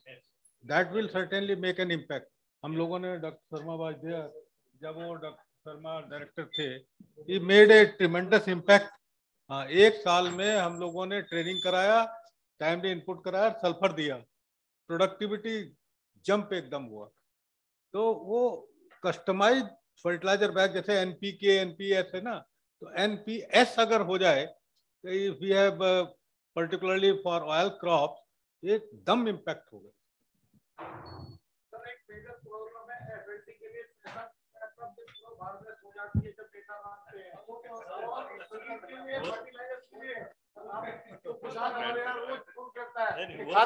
हमको। ये this is the major problem sir मैंने 200 FLD लगाई इस बार और 200 phone मेरे पास daily आते हैं। कि खाद कब दोगे तो सीड तो मैंने अपने यहाँ से दे दिया Actually, in my opinion, I have been uh, feeling that uh, we are being discouraged uh, by the top level that uh, we should not conduct the FLD. Although DSC, why DSC is doing uh, this, sir? In, even in January, we have not received any budget, and uh, all our ACRIP center has already conducted FLD. One crore fifty lakh is pending, sir. Then, ah, then. यहाँ नहीं देंगे I now Dr. Pankaj Sharma.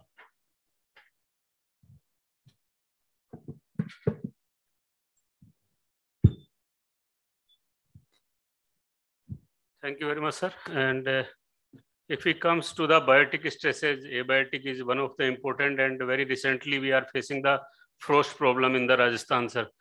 In if it comes into the biotic stresses, sir, insect and diseases both are the major problems. And uh, in coming days uh, during last three four years or before that we are facing painted bug as a important insect uh, other than the aphid sir. So aphid is now second. We are facing painted bug. Bagrada hilaris is one of the important.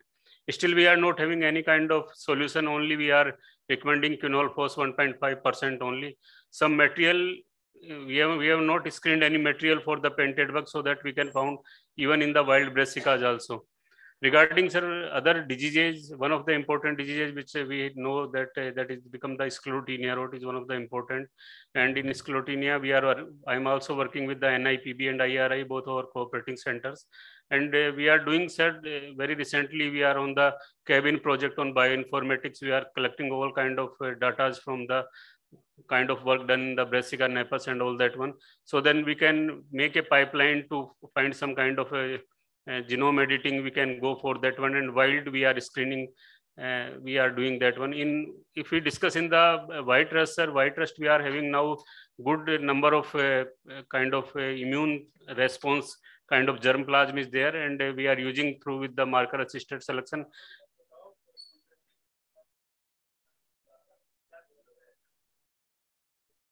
Sir, if we what we have, we have.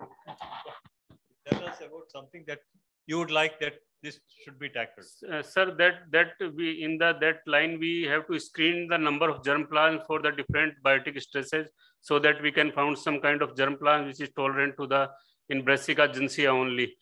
Another thing, we have make some kind of uh, IDM modules for the different insect and diseases so that on the different agroclimatic zones, we can recommend them for that or include that state package of practice set so that farmers on first attempt they can find some kind of solutions. Because many times new diseases kind of uh, stem rot uh, and another collar rot disease one of the important disease which is facing many times bacterial rot is there. So these diseases still we are not having any kind of pop packages. Even their identification is not proper through the state agricultural personnel. So this is one of the important thing that uh, we have to proceed that one Another some new new generation fungicides. With now the label claim is one of the important things. So we have to take the such kind of fungicides, and now we are having the facility of drone also.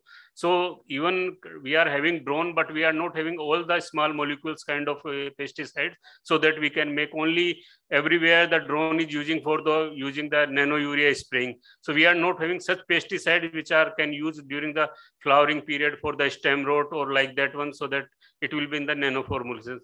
So these are some points, sir, which can we can take into account. Thank you, sir. Thank you. Uh, Dr. Naveen Singh is not around. Dr. Hazarika also. Is he, is he still there? No? So let us now come to the conclusion of this panel discussion. Uh, we have had presentations or points raised by various panelists, and some of them are within our control, many of them are beyond our control. But we have to navigate through this system to find solutions. Uh, it could be administrative, it could be other interventions. Uh, we have to, I think, bring these points in the recommendations of the seminar. That's the most important so that uh, it is highlighted adequately in and could be used in discussions in various fora. Uh, I would like to add one or two things which have not been covered. One is that accelerated breeding, uh, because we need to turn out varieties much faster in coming years to address the new requirements. Uh, I think more effort needs to be done, some concrete efforts. We have made some recommendations in the QRT, but uh, facilities need to be created for accelerated breeding. Uh, Dr. Mandokar was saying genomic selections. Even there, we would require facilities for these sort of accelerated breeding. I think that needs to be brought in somewhere. Uh, the recent developments uh, from the Delhi University and NIPG are about the glucosinolates. Uh, glucosinolate less seed, but the glucosinolate present in the plant uh, through genome editing is an exciting opportunity because we want glucosinolates in the rest of the plant parts, but not in the seed. And it has to be done through genome editing only because of the number of genes involved and the process of breeding would be enormously long. And Dr. Bisht in NIPGR has demonstrated that it could be done at one go.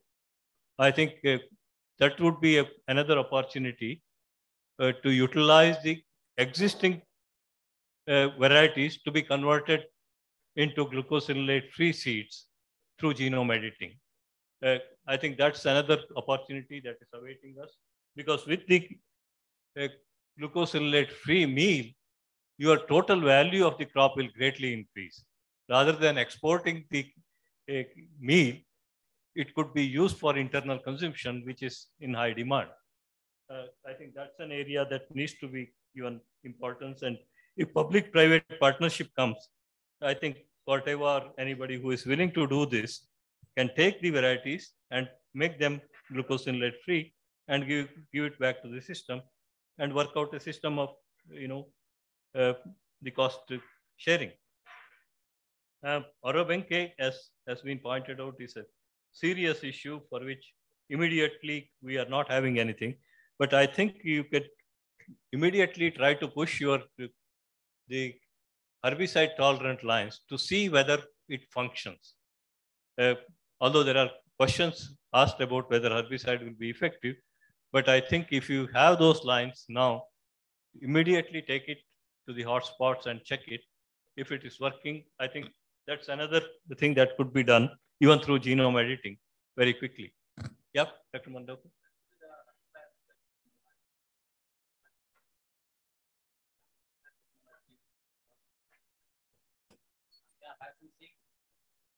And BASF has the technology. They are licensing to many companies and even private um, uh, public universities. Uh, but yes, herbicide technology is greatly working for Orobanche. Yes, it, if it is working, that that because they have conventional mutagenesis based uh, tolerant lines. It is the same approach BASF has used. Yes, it, it could be, you know, even conservation agriculture, it would be a very important uh, uh, weapon for that purpose. I think that's another thing. Uh, regarding the alternaria, although we have the amphidiploids, you know, erucoides that I have been telling, somehow the, the lines have not come out yet. Uh, we had again recommended in the QRT that it should be shared with all. And because the lines are immune, the, you know, the, practically there is not a single speck of uh, alternaria on the amphidiploid. It is a dominant resistance it should be possible to transfer it through systematic backcrossing. Somehow it is getting delayed. You have both uh, ALBA-based hybrids as well as Alternaria-based, uh, sorry, based hybrids. It should be possible to achieve this uh, in the short run if there is a mission mode approach to get, get there. And uh, lastly, uh, the exotic germplasm.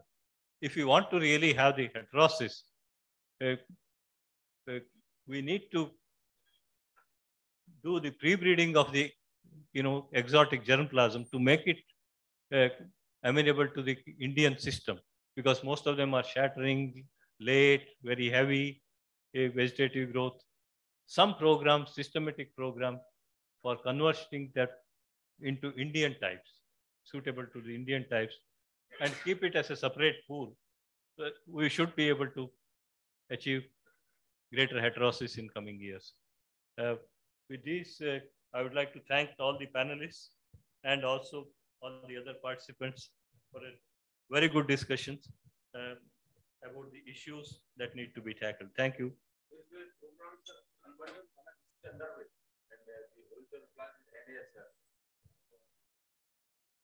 आपको आपको accelerated breeding चाहिए वहां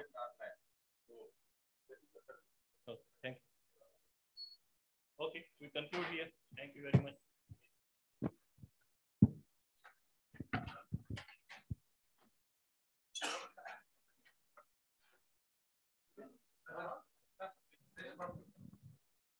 Uh, so at the end, I uh, must extend the uh, formal vote of thanks uh, to the chairman of this uh, day-long almost session on this Rapeseed Mustard as a part of this satellite conference. And the our other experts, Dr. Bhatt, Dr. Sarma, and the colleagues who given their views online uh, and this, our fellow scientists from DRMR and those who has been uh, uh linked with this online to this uh, very important conference. And uh, thank you all. Thank you very much. Thanks.